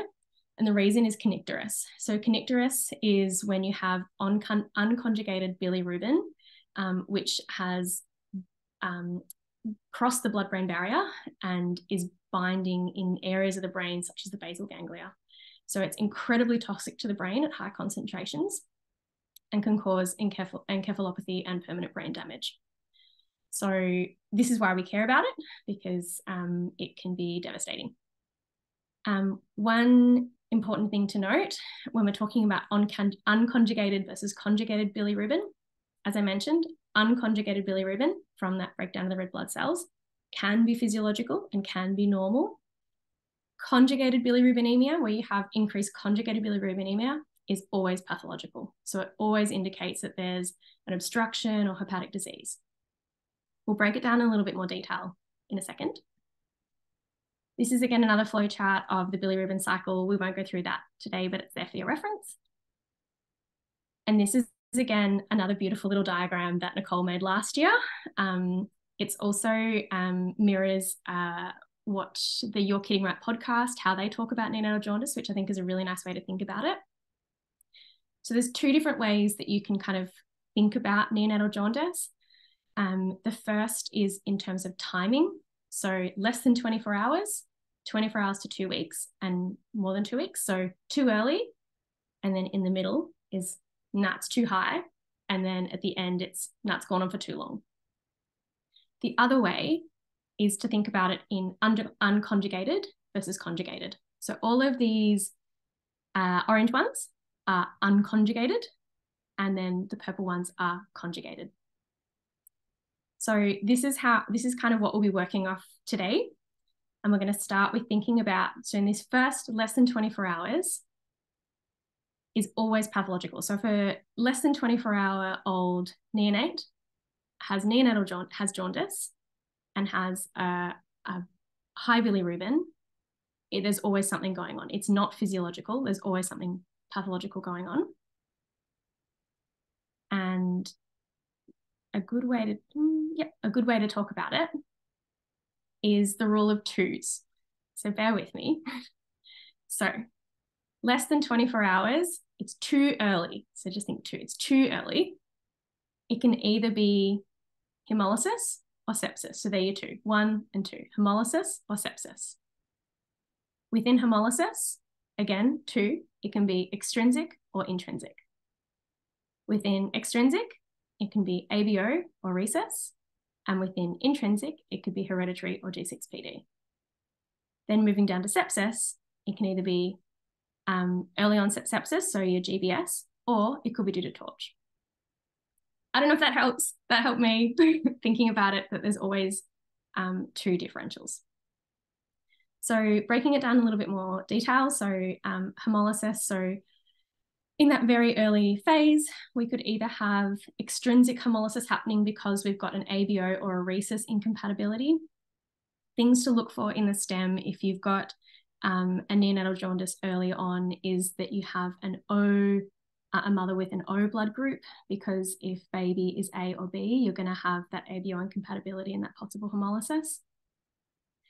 Or if you have, um, uh, in terms of rhesus um, incompatibility, they'll often talk about there being a sensitizing event, whether that is this is a second pregnancy, or whether um, they have had a miscarriage, or whether they have had um, an amniocentesis or, or, something that's caused um, a possible sensitizing event during pregnancy.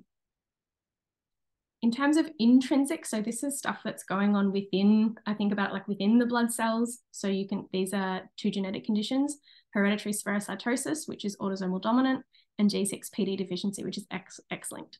I've added in the recessive patterns because for whatever reason, last year Monash loved testing us on the inheritance patterns of niche rare blood diseases. I would say it's very low yield, but it's there if you want to know it. um, and then in terms of sepsis, we've spoken a little bit about um, that as well, but that can obviously also um, cause um, the, it, it can also cause neonatal jaundice. So in terms of our history, these are some things that we're asking. And then in terms of investigations, transcutaneous bilirubin is like a um, like a, a, pinprick test that they um, like a little test that they can do on the skin um, which is a good, really quick test of the bilirubin, um, but not necessarily as reliable. Um, so then we would also want to do a serum bilirubin and then breaking that down into conjugated and un unconjugated. Um, a direct Coombs test, um, which you'll know um, is looking for the antibodies. Hemolytic screen is the exact same as what you would have learned in adults and septic screen as we spoke about before. Um, within that, we also want to have a look at the blood film um, because obviously the blood film is going to tell us more about these intrinsic um, causes of hemolysis.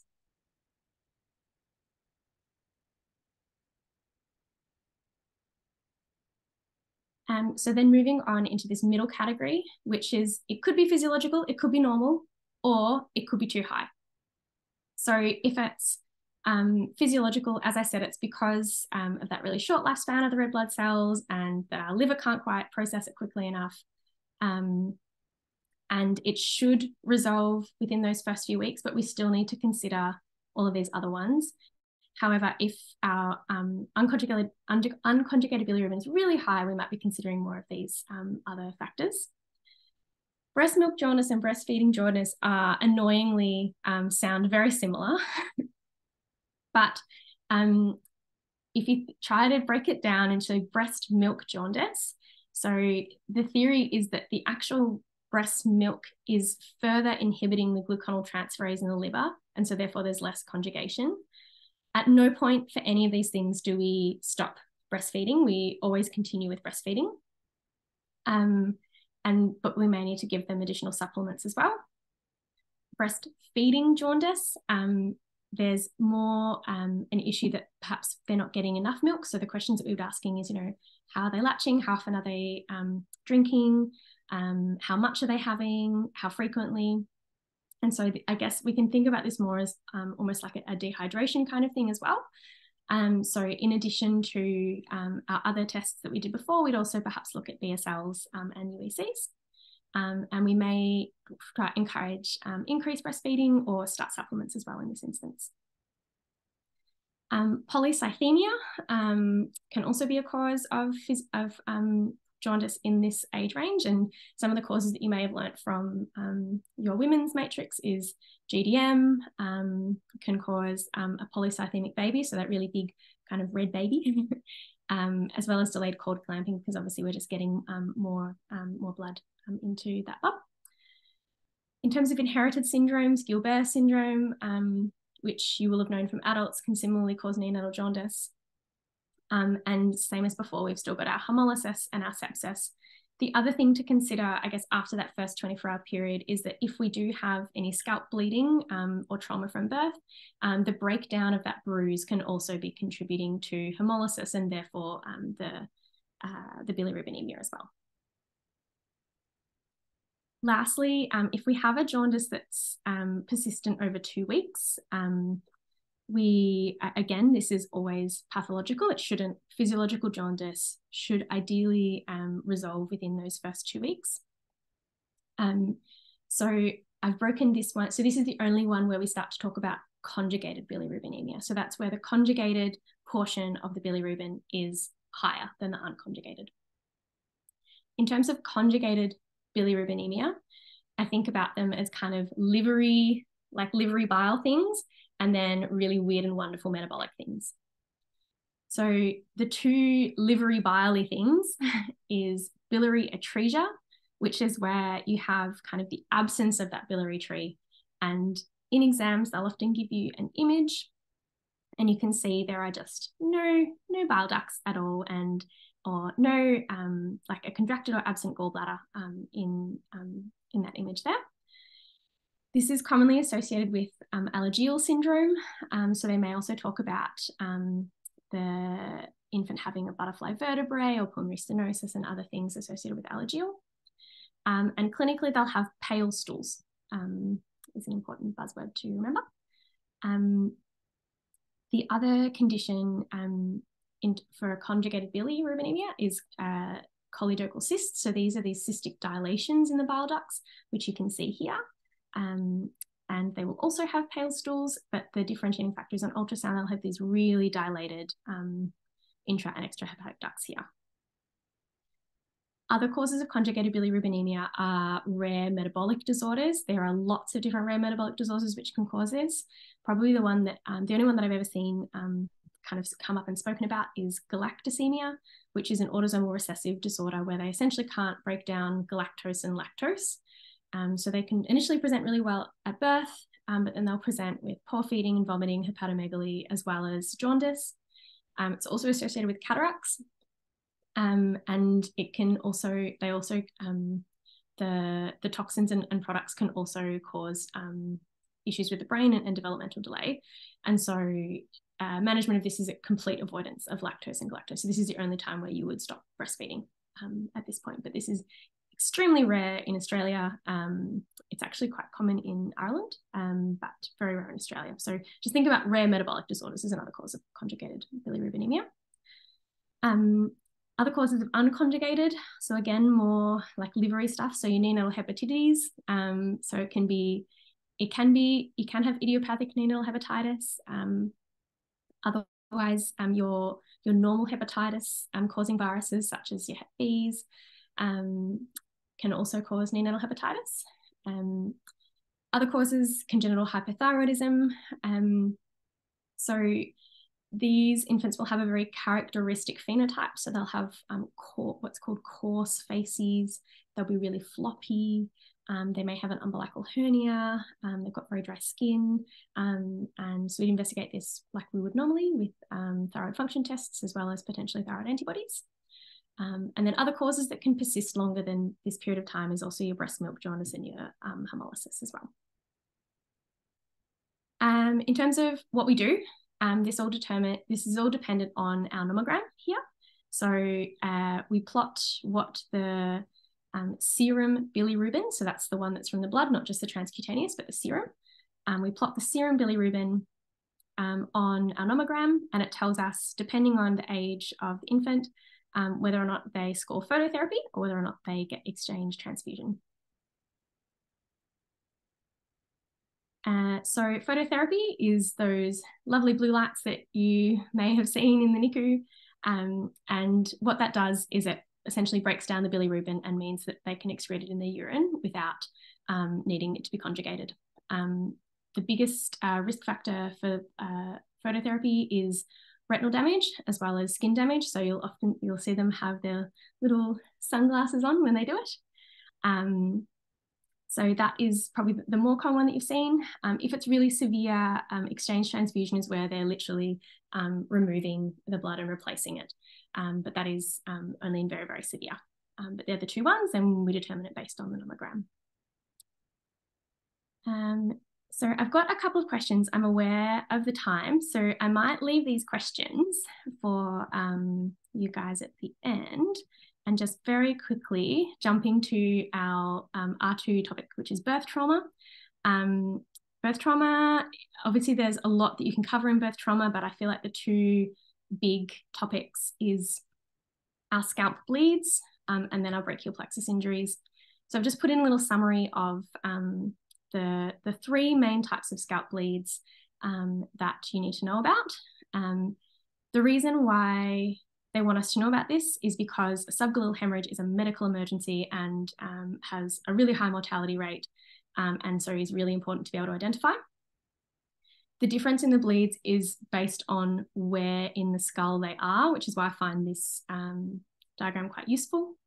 Um, so the caput um, is um, we've got the serosanguinous fluid accumulating um, in this layer, in the subcutaneous layer of the scalp here. Um, it can cross the suture line, so it can go across here, um, but it usually resolves between 12 to 18 hours. Because it does cross the suture lines, it can be confused with the subgaleal. Um, so both the subgaleal can put cross suture lines, whereas the cephalohematoma does not because it's confined um, within this periosteum here. Um, if you are suspicious of a subgaleal, um, it's a medical emergency, you want to escalate immediately. Often, these, um, if you're not at a tertiary hospital, these infants need to be piped out very quickly um, and they can lose 70% of their blood in a very short amount of time um, from this bleed. So, it's um, very serious. Um, you need to do urgent group and cross match and essentially pipe them out to a centre that can manage them. Uh, lastly, brachial plexus injuries. Um, so you will have come across some of these perhaps earlier in your studies as well. Um, the Erb's and Klumpke's palsy are the two most common, um, and it's um, dependent on where um, in the brachial plexus that kind of traction has occurred. Um, the degree of paralysis and the degree and the extent of it is depend is very variable.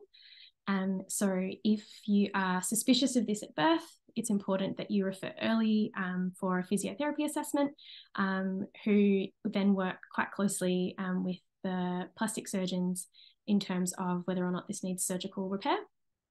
Um, more often than not, um, with physiotherapy, they, they, they don't all need surgical repair, but more severe ones do.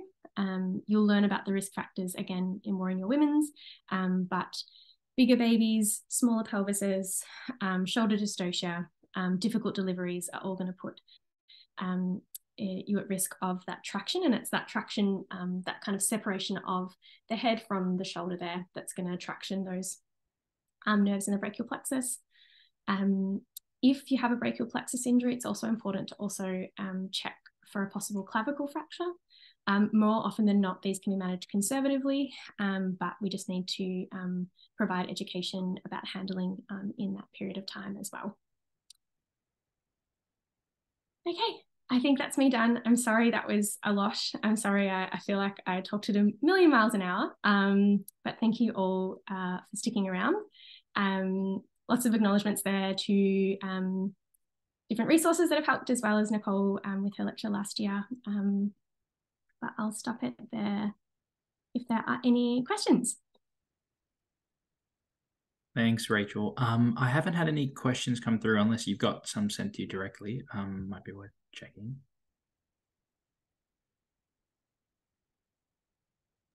There's a question here about uh, indications and antibiotics for meconium aspiration syndrome. That is beyond my scope of knowledge. Um, I would say that um, it's probably also beyond the expected knowledge of you guys for your exam um, next year, uh, this year as well. Um, and for all, uh, particularly with neonates, um, antibiotic guidelines are going to differ depending on the centre that you're at. But also, just in general, actually, um, neonatal guidelines differ centre to centre. Um, the safer care guidelines for Victoria, um, uh, they don't have a neonatal division anymore. and so the guidelines haven't actually been updated since I think like 2017, 2018. Um, and so all the guidelines for neonates are very centre specific, um, which means there is a vast degree of variation between what people do. Um, for your exams, um, I would go off the Monash prompt guidelines because um, they're what your exams are written off. And then depending on where you're working, um, you should have hospital specific guidelines for all of those things. Perfect. Thank you, Rachel. if anyone has any other questions, no? Cool. All right. Um, so we'll just break for lunch now until maybe about 12.30. Is that, that enough time? Or do you guys feel like you need a bit longer? Tiff, Izzy, what do you guys think? I think we'll come back at 12.30. Yeah, yeah. All right. 12.30 sounds good then. See you guys back at 12.30. Thanks, Rachel. Thank you.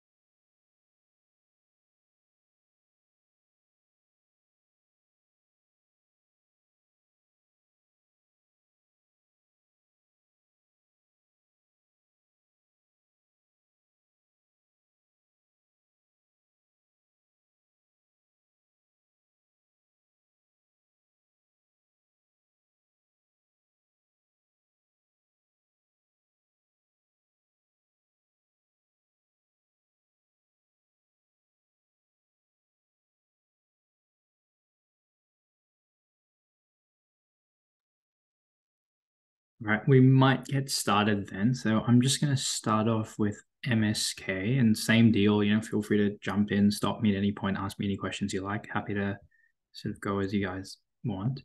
Um, I'll start off by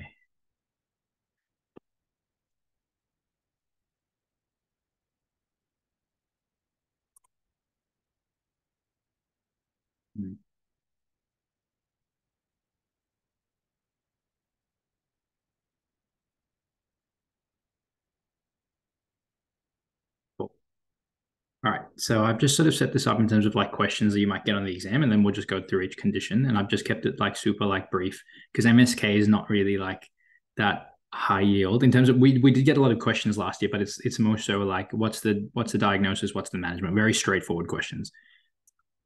So all right, so you have a four-year-old boy comes into ED with a limp and he's refusing to weight bear and then on examination, you note that his knee's hot, swollen, and painful.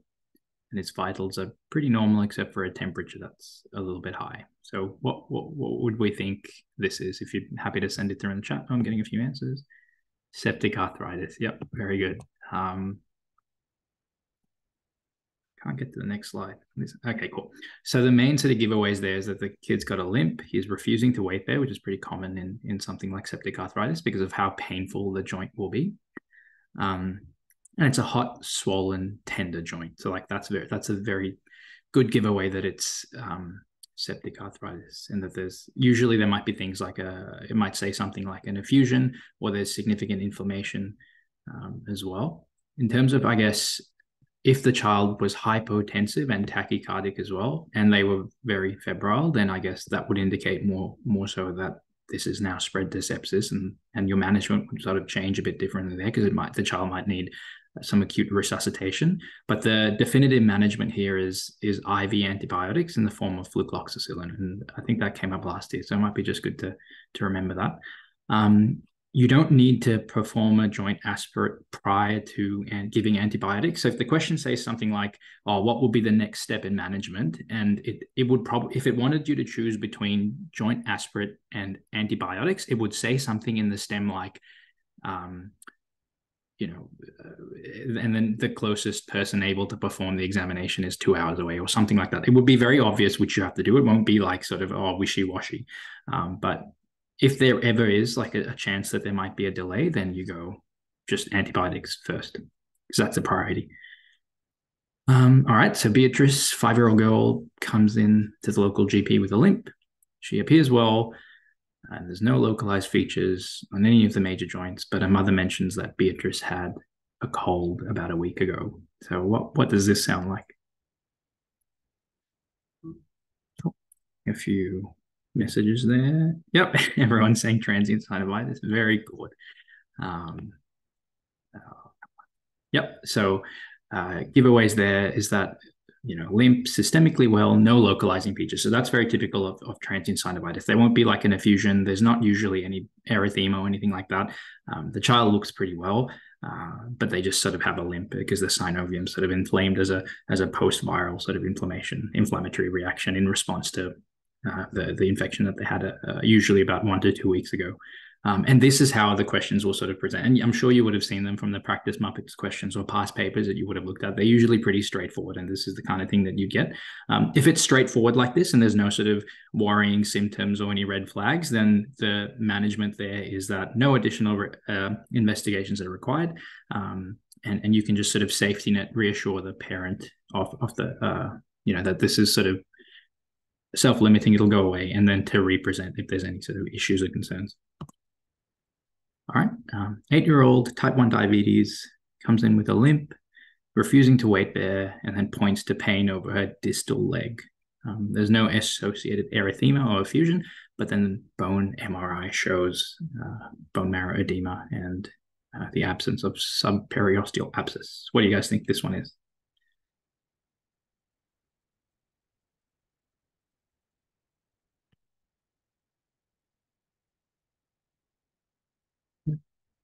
Yep. So I'm getting osteomyelitis, OM. Yes, that's right. So this is this one's a bit sneaky. Like it's not very clear cut that it's it's osteomyelitis, but usually how they'll present is uh, with they, won't, there won't be any effusion or, or erythema usually, um, or at least for your exams, and it'll have some sort of MRI finding. And the MRI findings that they usually uh, give you is uh, bone marrow edema and or subperiosteal abscess. And the reason that the periosteal abscess is is important is because that dictates how you manage. So, for example, if there is no abscess, then IV antibiotics alone in the form of flucloxacillin will be significant enough or sufficient. But if there is an abscess, then they need the antibiotics in addition to surgical debridement. Um, yep. Hope that makes sense. And in terms of their symptoms, usually the, you know there'll be a limp. There won't be anything too specific, but and they can have a fever, but it's it's not it's not as acute or as severe as it might be in something like septic arthritis, because the information, the sorry, the inflammation and infections are a bit more contained within the bone, um, and not sort of spreading around in the blood like it would be in something like septic arthritis. Okay, so 16 month old comes to ED with a fracture in the mid shaft of his tibia.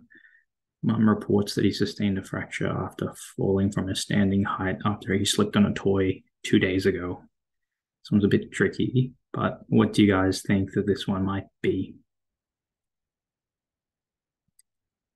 Yep. Yep. So I'm getting non accidental injury. Yeah. That's it. So, um, red flags there is that the kids, the child's quite young. Um, it's a fracture in a young child, which is always sort of a, a concern or something to think about. Um, uh, the location as well, mid shaft of the tibia, not not commonly fractured. And I'll go through which fractures are likely as well. Um, and then a fall from a standing height. So incompatible mechanism of injury. Sorry, incompatible mechanism of how the injury might have come about, like it's not. And then two days as well. So delayed presentation or delayed help seeking. Um, so like of all the things that you sort of go through, like, you know, like neonatal resus, all those things are very important. Um, but this is like one that you might see as a, a junior doctor. And it's one that's important not to miss, you know? So like, eh, and we always get a question on the exam about this, probably because it, it is so important. Um, but usually the question and the question on the exam will be very obvious, like it'll have like multiple red flags. Um, but some of the red flags might be that the child has multiple sites of bruising, um, that the blues, bruisings are often in uh, covered in areas that are covered by clothes or clustered, um, and that the the way that the uh, uh, fracture sort of came about is incompatible with how you sort of think about fractures normally. Like they might have just fallen and they they've broken a shoulder, which is not really not really possible unless the child has some sort of deficiency or, or, or disease. Um, and then also like things like burns in a child that's non-ambulating. Like you, I think the question that we had said, or a practice question said something like there were burns on the child's feet, but they were like 12 months old. So like, how did they get into the water kind of thing? So those are just things to think about. Um, and they can be quite, you know, quite sad, but it's just important to be aware. Um, and then also just making sure that uh, in terms of the management, that it's just straight away sort of escalate to a, a senior member of staff, and then they will perform a top to toe examination but in terms of uh, management, I guess if you, you first you medically stabilize this child and then escalate to a senior, but that sort of happens together, if that makes sense. But always doctors ABCDs and then escalate to a senior. All right, cool. So two-year-old presents to the local GP with a limp. Her mother mentions that she's been worried about her daughter's gait since she, since she sort of started walking three months ago. Uh, and on examination, you know, a waddling gait and discrepancy in leg length. What do you guys think? Oh, yeah, DDH, perfect. Um, yep, DDH is correct. Mm, sorry. So two-year-old with a limp. And the giveaway here is that she's been sort of concerned about her gait since she started walking. So like it's it's it's not a new thing. It's been there for a while. Um, and that discrepancy in leg length. So this one can come up quite a bit, and you might even get an OSCE on it potentially. But the risk factors, I'm sure you're aware from women's health and, and all that, that being female, being breached, and any sort of condition that causes confinement in utero, so being a part of a multiple pregnancy, being a large baby, or increased sort of amniotic fluid can all compress the, the legs and cause DDH. Um, the complications of it sort of are that you can have early onset osteoarthritis, you can have loose sort of ligaments and, and easy dislocations, and then uh, the avascular necrosis of the femoral head, which we'll come to in a second when we discuss another condition um, as well. But in terms of, I guess, how these things present and how they're managed for each age. So if they're asymptomatic, sorry, sorry, if they if they're less than six months, they'll likely be asymptomatic because no one's sort of walking around when they're less than six months. Um, and the way that it sort of presents, it might be that there's Barlow's and Ortolani signs, like that might be the, the giveaway in the exam, and they might get an, uh, an ultrasound, but the management is usually um, a harness or a Brownlow bar, um, and, and that's that might fix it. But if it if it goes undetected, or if you know now it's six to eighteen months and it's still sort of causing them issues, then the way that that might present in someone that's a little bit older is with a reduced ability to sort of abduct their hip. Um, Barlow's and Ortolani sort of go away, and they're not no they're they're not present anymore, so you can't really rely on those signs. But another thing that you might see is asymmetrical gluteal folds um, which you might have heard of as well. And an ultrasound is not necessary, but it might be performed. Um, but the way that this is managed is that the child is sort of sedated, and how they do it is they, without making an incision, they surgically sort of perform a reduction and put the hip back into place. But there's no there's no incisions, and then the child goes into this hip spica cast here, which you can see here, um, and and it has to be like that for six weeks or yeah. Um, in terms of how an older child might present, so they will have hip pain, pain referred to the knees. They'll have a, a gait abnormality, and then also a, a, leg length discrepancy, which is what was in this question here. Because um, and then also they'll have toe walking to compensate, so they have to elongate one leg to compensate for the fact that the other one is shorter. Um, might order an MRI to work out what's going on here, but then this is managed by open reduction. So that's with an incision under general anesthetic that's then used to uh, relocate the hip back into its, sorry, relocate the, the leg back into the correct position. Okay, cool. Um, Eight-year-old boy presents to ED with hip pain. On examination, you know, pain on internal rotation of his left hip and then an X-ray shows. Okay, you guys are already sending through answers. What have we got? Perthes, Perthes. Cool. Cool. Very good. Um, so giveaways here is that that on X-ray you'll have increased joint space and a flattened femoral head, and you can see that here in the picture here um, that there's increased joint space and a flat uh, femoral head here in comparison to the one on the other side uh, but it it's um, usually presents with reduced ability to internally rotate slash decreased range of motion slash a limp. Um, but they won't usually expect you to diagnose it on history alone. It'll it'll it'll be some. They'll give you something like uh, the findings of an X-ray. Um, they won't. Uh, they don't normally give you an X-ray. I don't think I've ever seen that on a practice question or anything like that. But um, it'll say something like an increased joint space and a flattened head. Yep pretty straightforward. Cool.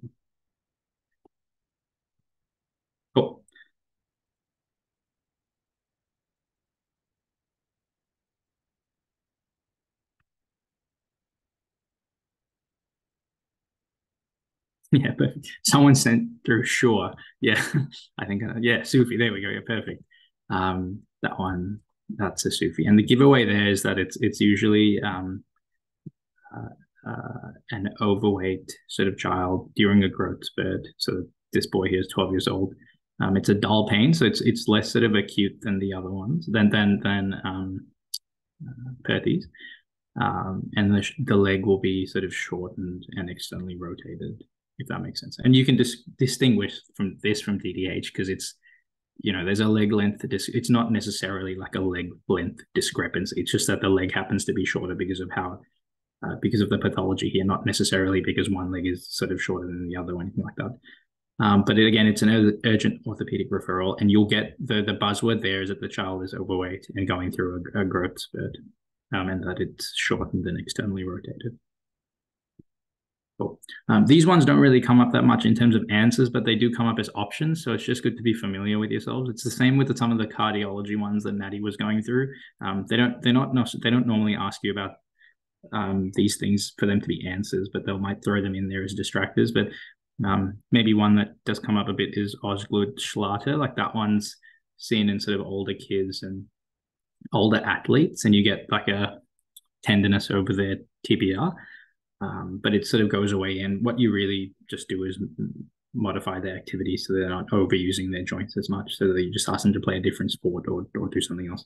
Uh, but yeah, does that make sense? Any any questions about any of that MSK stuff? Pretty straightforward. It's not too bad.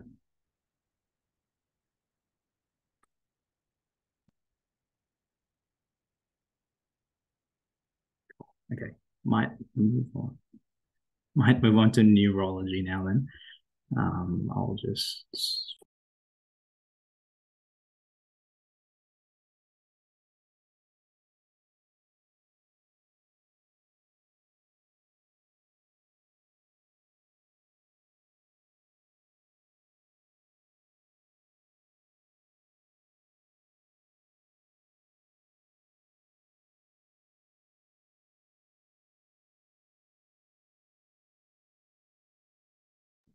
Hope everyone can see that. Cool. Thanks, Tiff. Okay. So a 13-month-old is brought into ED by ambulance after a series of jerk-like movements which lasted less than five minutes. Child is febrile with a temperature of 39 degrees and all other vitals are normal. What do you guys think? Oh. Febrile convulsions. Very good. Um, cool. So the giveaways there is that the child is between six months and six years. Uh, it's jerk-like movements which indicate a seizure. The child's febrile, which is good. So you can make the link there about a febrile seizure. And then full septic screen is normal, meaning that it's not likely to be meningitis or encephalitis, which is important to rule out in somebody that's febrile and having a seizure. So febrile convulsions, just quickly, like how they work is that the inflammation from the infection sort of releases, causes the release of all these cytokines and inflammatory things that act on the hypothalamus and those and that causes this seizure-like activity. And it's it's the rapid change in temperature that's sort of believed to cause these febrile convulsions.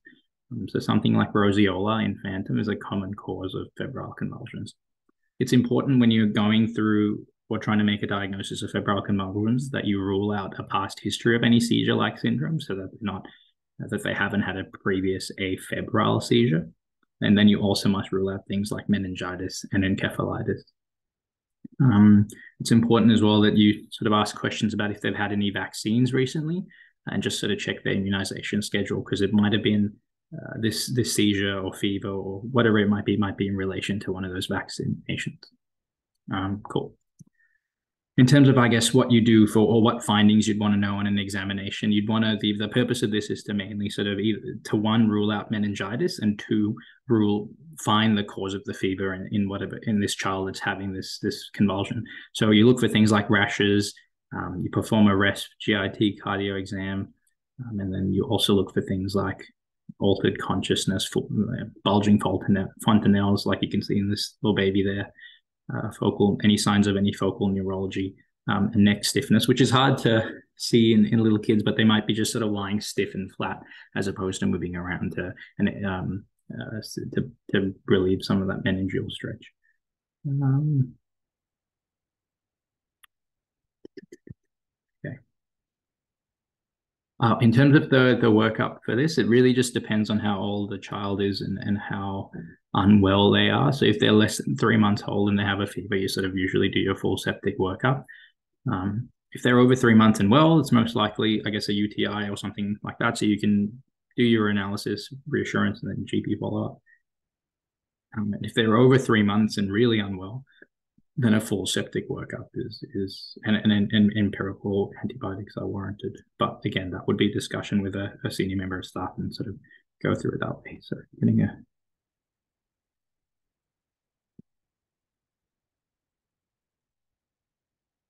Um, in terms of management for this, so if it's if you it's a clear diagnosis of a of a febrile convulsion and it's you're not worried about anything else, then I guess you can put, uh, you go through conservative management, but it it does not reduce the the risk of uh, further sort of seizures as a part of this febrile episode. So antipyretics don't reduce the risk, and I'm sure you're probably aware of that.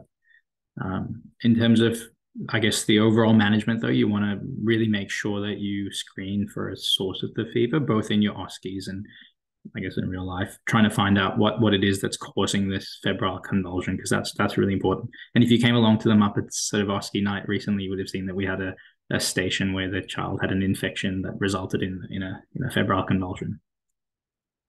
All right, cool. Uh, there are a few questions. Oh, no, maybe no. I'll, I'll get to. I can see a few questions popping up. I'll come back to them at the end if that's if that's okay. Um, okay, so meningitis. So meningitis you're all familiar with from 3V, so I'm not going to spend too much time on it. But the way that it presents in in younger kids, and um, Rachel sort of touched on this as well, is that, that high pitched cry. They'll have a full fontanelle indicating increased ICP. Um, they'll have a non blanching rash. They, they don't have to, but they can. Um, and then they'll they'll be lying flat, like I said before, to sort of minimize that meningeal stretch. Um, in older sort of adolescent kids, it'll be the same sort of signs as adults, so photophobia, neck stiffness, headache, that kind of thing. Um, classical signs of meningism or meningitis. Um, so full septic screen is warranted if you're worried about this. And then the antibiotics you give are below there, um, and that's given based off of their age. Um, and again, same as for septic arthritis and a, and a joint aspirate, you, you don't really delay here for a, for uh, for if you can't get an LP, you just give them the empirical antibiotics within 30 minutes. That's the that's the main uh, definitive management. Okay, so this this is the the complicated, I guess, part of of uh, of neuro that everyone sort of doesn't like. But it's we had quite a few questions on our exam last year about all the different seizure syndromes. Like I think it was about three or four marks allocated to just like knowing the different um, types of epilepsy and things like that. So it's worthwhile knowing them. The good thing is though, if you if you know it, you'll get it right because it's it's all like buzzwords, easy to remember. But um, if you don't know it, there's no way to figure it out. Uh, but just in general, epilepsy is just two or more unprovoked seizures more than 24 hours apart. Um, you can break that down into primary or secondary, and it's usually primary, meaning that there's it's idiopathic and there's no sort of aggravating factor that's causing these these uh, seizures. Um, and it'll more likely be present from a young age. So some of those infant seizure, sorry, seizure syndromes. Uh, you can also be secondary. So uh, things like things that are due to tumors or mal- malformations, uh, cognitive um, or neurological conditions. Uh, so things like Down syndrome and, and, and cerebral palsy. So these are the, the seizure syndromes, and I've just sort of tried to break them down into infant and adolescent seizure syndromes, and then um, so in terms of the infant ones, the most common sort of one is West syndrome, or in, also known as infantile spasm. That happens between four and six months, and it's recurring tonic seizures, so increased tone, so that they'll be drawing up their legs, flinging out their arms, and sort of hunching over. Um, and it's usually associated with, with some sort of hypoxia early on. And the buzzword for that is a is a hypsarrhythmia. Now, I mean that I remembered that, and I don't know if you guys remember things like you know with mnemonics or whatever, but um, West syndrome's like the Wild West, and it's coming off of your hip, like you know how they do the shootouts. I can see Tiffany's laughing, so I hope the rest of you are laughing. I suspect none of you are laughing, but that's okay. Um, and um, that's just the way I remember it. At least now I've said it, you'll remember it. Um, the next one's sort of Lennox-Gastaut syndrome, a uh, bit older, so kids that are between one and three years of age.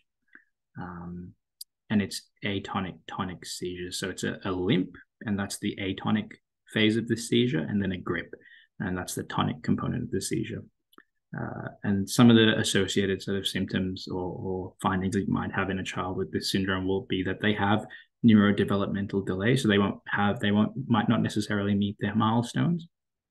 Um, they probably have a history of of uh, West syndrome in infancy, and the buzzword there is um, uh, on EEG you'll have one to slow to two slow hertz spike waves with paroxysms of fast activity. Now I don't I don't know what that means, but that was I, am pretty sure that was in the exam where they said that. So you know it's Lennox um, Gastaut syndrome and it's a poorer prognosis, hence the uh, delayed developmental milestones. Um, okay, so those are the infant ones. There are a few more infant ones on the next slide, but I'll come to them.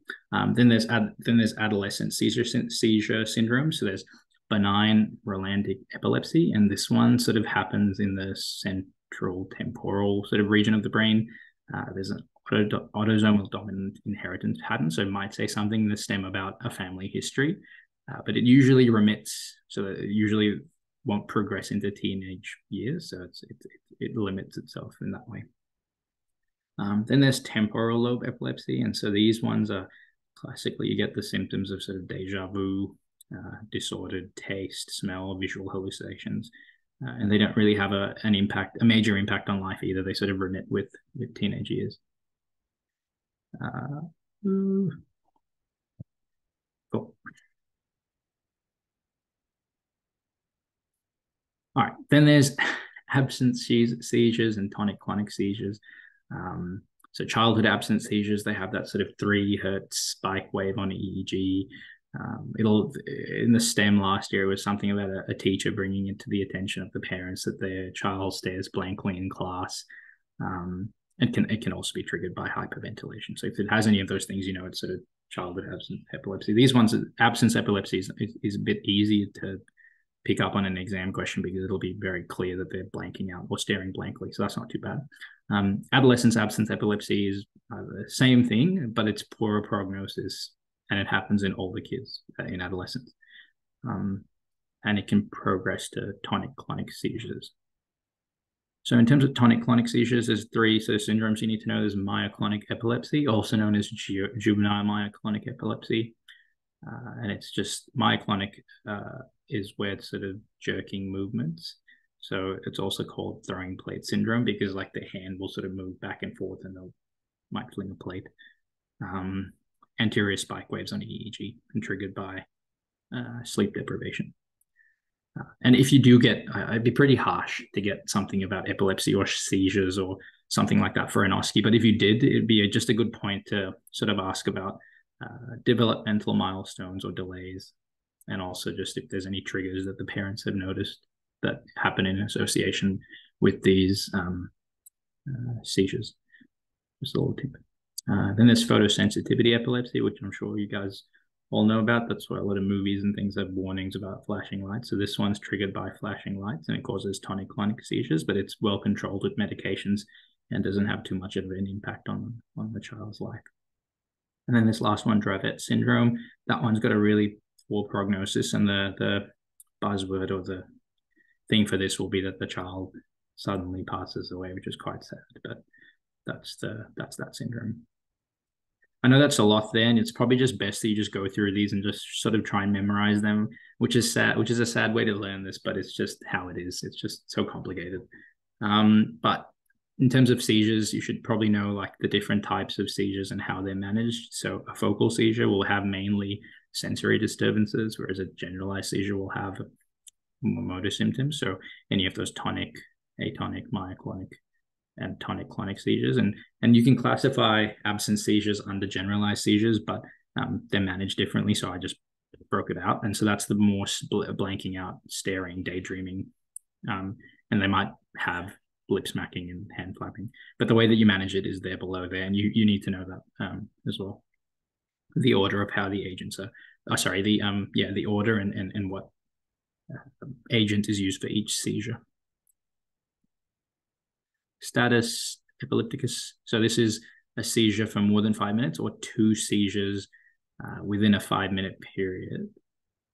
Um, without a return to baseline. So there'll be some sort of uh, neurological deficit in that period, um, indicating that the child has not gone back to baseline. And the way that you manage that is is by using this flow chart, or you can just sort of remember what I've written there. So it's it's a dose of midazolam uh, or, or benzo. Uh, it's a dose of some sort of benzo. Then you repeat that after five minutes with another benzo. Then if it's if they're still seizing, then you give them a second line agent.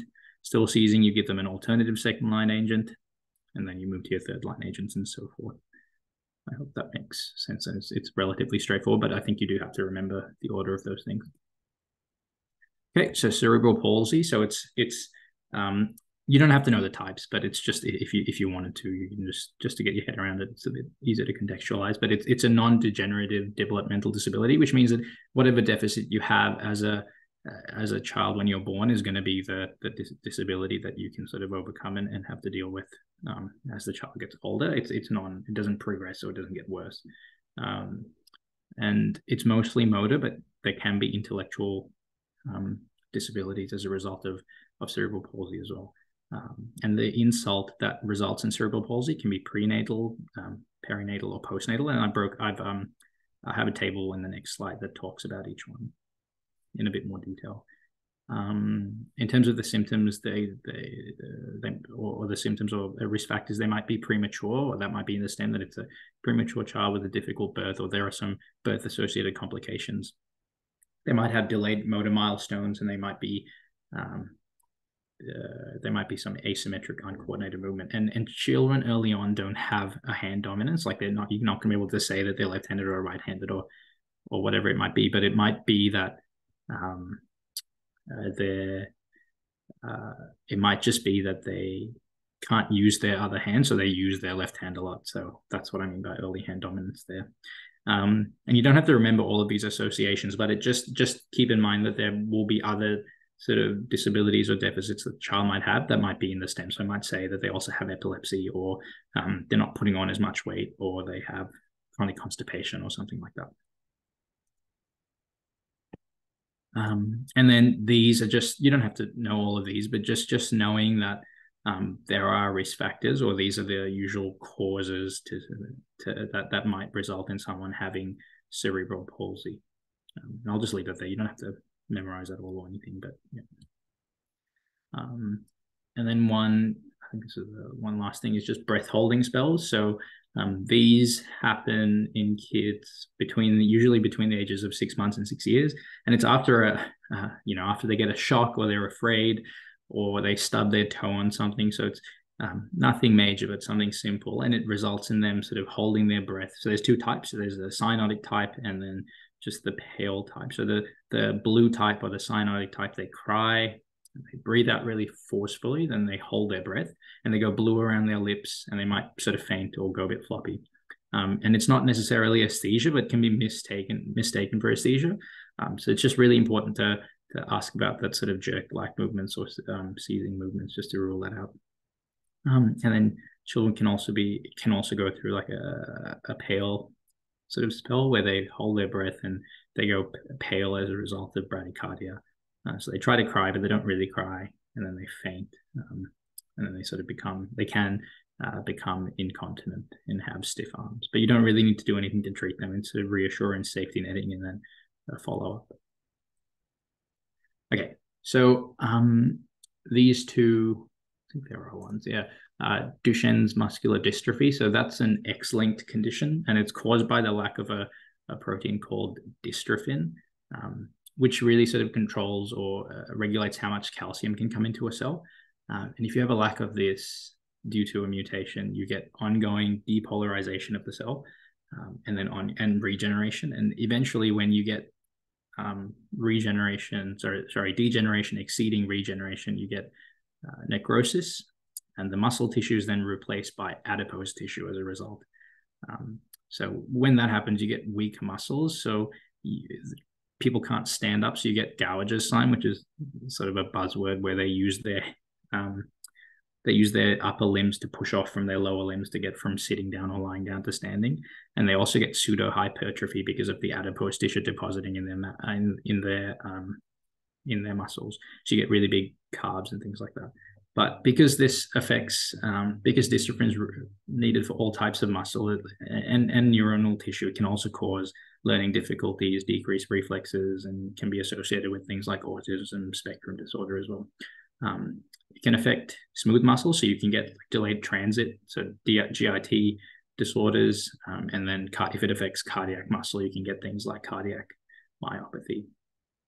Um, but the way to diagnose is this: you can screen for it with um, elevated uh, CK levels, so it'll be 50 to 100 times higher than the normal limits.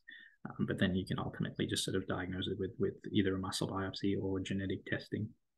Um, but there's no cure for it, um, and it's mainly just physio, OT, and, and, and regular sort of follow up and monitoring. But they have a, a reduced life expectancy of about 30 to 40 years as well.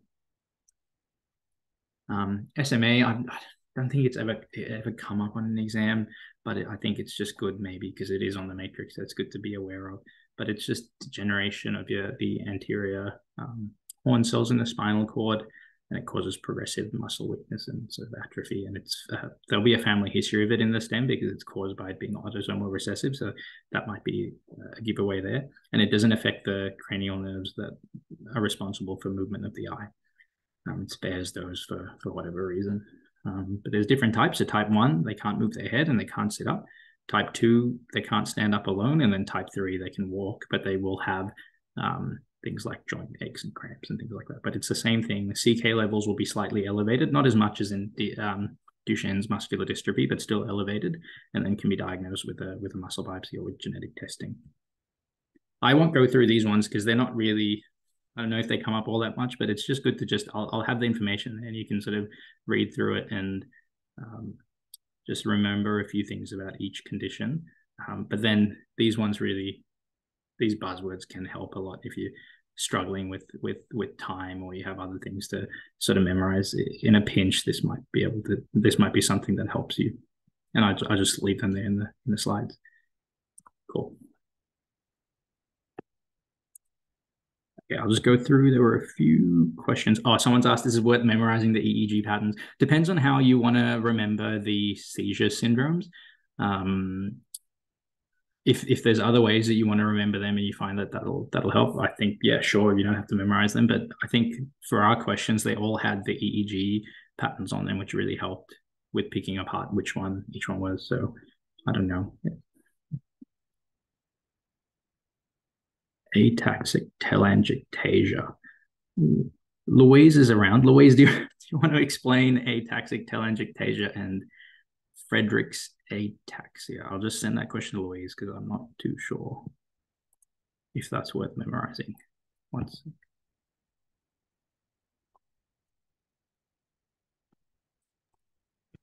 Yeah, you can send me the question. I'll have a look at it. Thank you. Oh, Another question about whether it's worthwhile remembering the patterns of inheritance for things. Yeah, so I'll we'll go through that tomorrow in the uh, genetics component of the of the lectures. Um, I think it is worth remembering that because that can help sometimes with diagnosing a condition. I don't think remembering that alone is going to be enough for knowing what each condition is because like that's not going to really narrow it down, but it can help. Uh, I'll go through that tomorrow and then we can talk about that more. Um,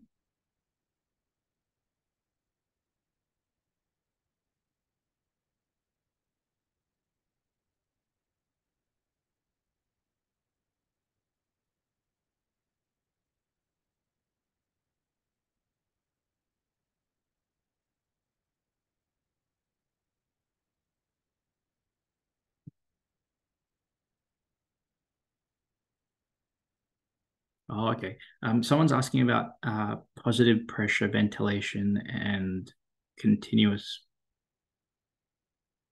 positive airway pressure between CPAP and PPV. I think PPV is intermittent. It's not sort of continuous like how they use the um, like uh, if that's your question, like in a CPAP mask. So I think what Rachel was talking about when she was talking about neonatal resus and giving breaths, it's just a few breaths. It's not that you continuously uh, provide positive pressure. Is that what, sorry, is that what you mean?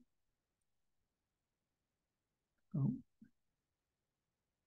oh perfect. Cool. No worries. Um,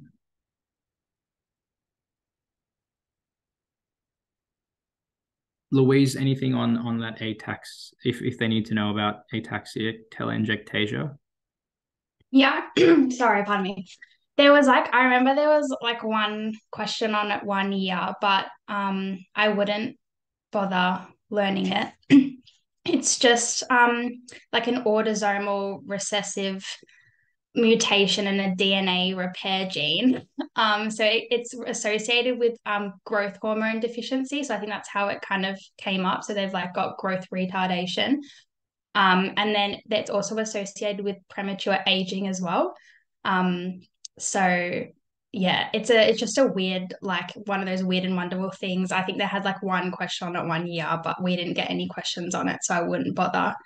Um, and then Friedreich's ataxia. Um, I'm fairly sure from memory, but I would look this up. Is just one of those um, like perif- inherited, one of the most common inherited peripheral neuropathies. Um, so I guess it just kind of comes under the umbrella term for that. Um, but again, pretty weird and wonderful. And I don't think it comes up in PEDS all that often. I hope that kind of helped. Thank you. Thanks for that. No, that was good. Um, do you have any suggestions in your priority of questions to do for the exam?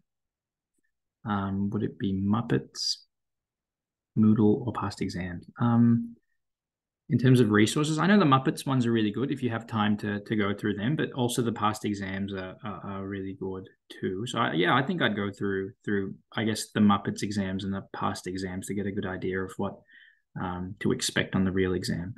Um, yeah.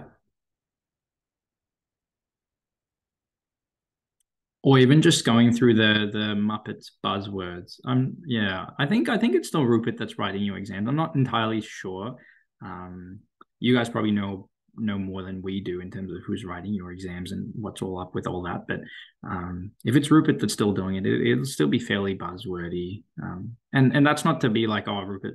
Rupert's just very kind. He's just a very nice man, and he, he wants you all to pass and enjoy PEDS and do well. So um, I wouldn't stress too much about the the PEDS exam. The average last year was like ninety percent or something crazy like that. So everyone usually does generally well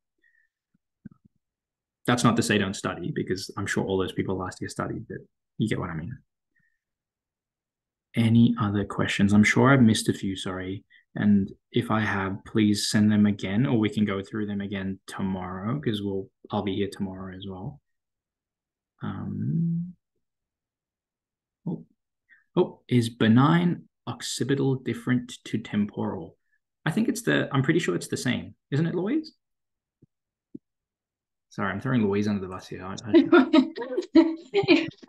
What's this for? Sorry. Um, is benign occipital different to temporal lobe epilepsy? Yeah, occipital. Are we talking about yeah, like partial? Yeah, yeah. So occipital is going to be so with your um complex partial seizures. Um, they're they're like focal in which you can tell from like the aura like where it's coming from. So, like an occipital seizure is going to have visual things. So, like before the seizure happens, they may describe like a scotoma or like flashes and floaters or something visual related. And then they will, then in the post ictal state, they can even have like post ictal blindness. So, occipital, you're just thinking like visual things.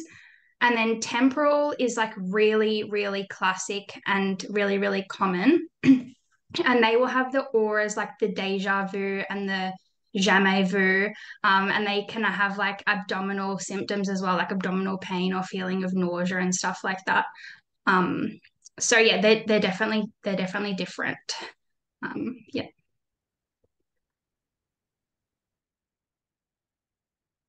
all right and then someone else is thank you louise someone else has asked if um, the exams last year were generally buzzwordy I think the PEDS ones definitely were. The other ones were definitely not.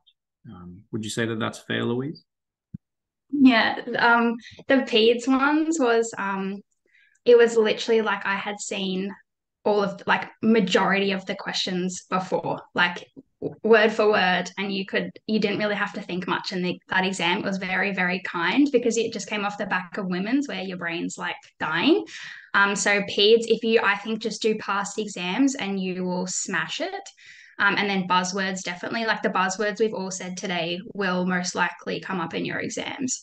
Um, and before, when we're talking about, do you need to know the um, the like the epilepsy like waveforms and stuff? Again i think it's just good because then it can help you answer the question quicker because you can be like yes that's related to that. Yes that's related to that. Um yeah whereas the other exams um aren't as buzzwordy and require yeah more complex thinking.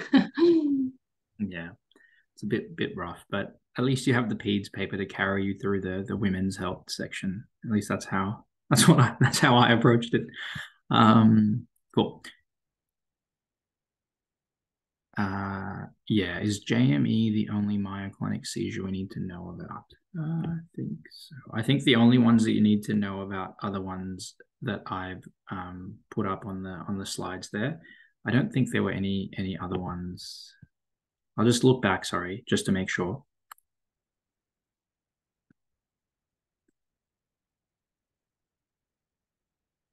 Yeah, that's the that's the only one you need to know. I think so. Oh, what was uh, the women's paper like? Any tips for revising? Oh, I, don't know if we can get into all that. That might be that might be more wisdom's territory. But any the the biggest tip for revising for that would be the prompt guidelines.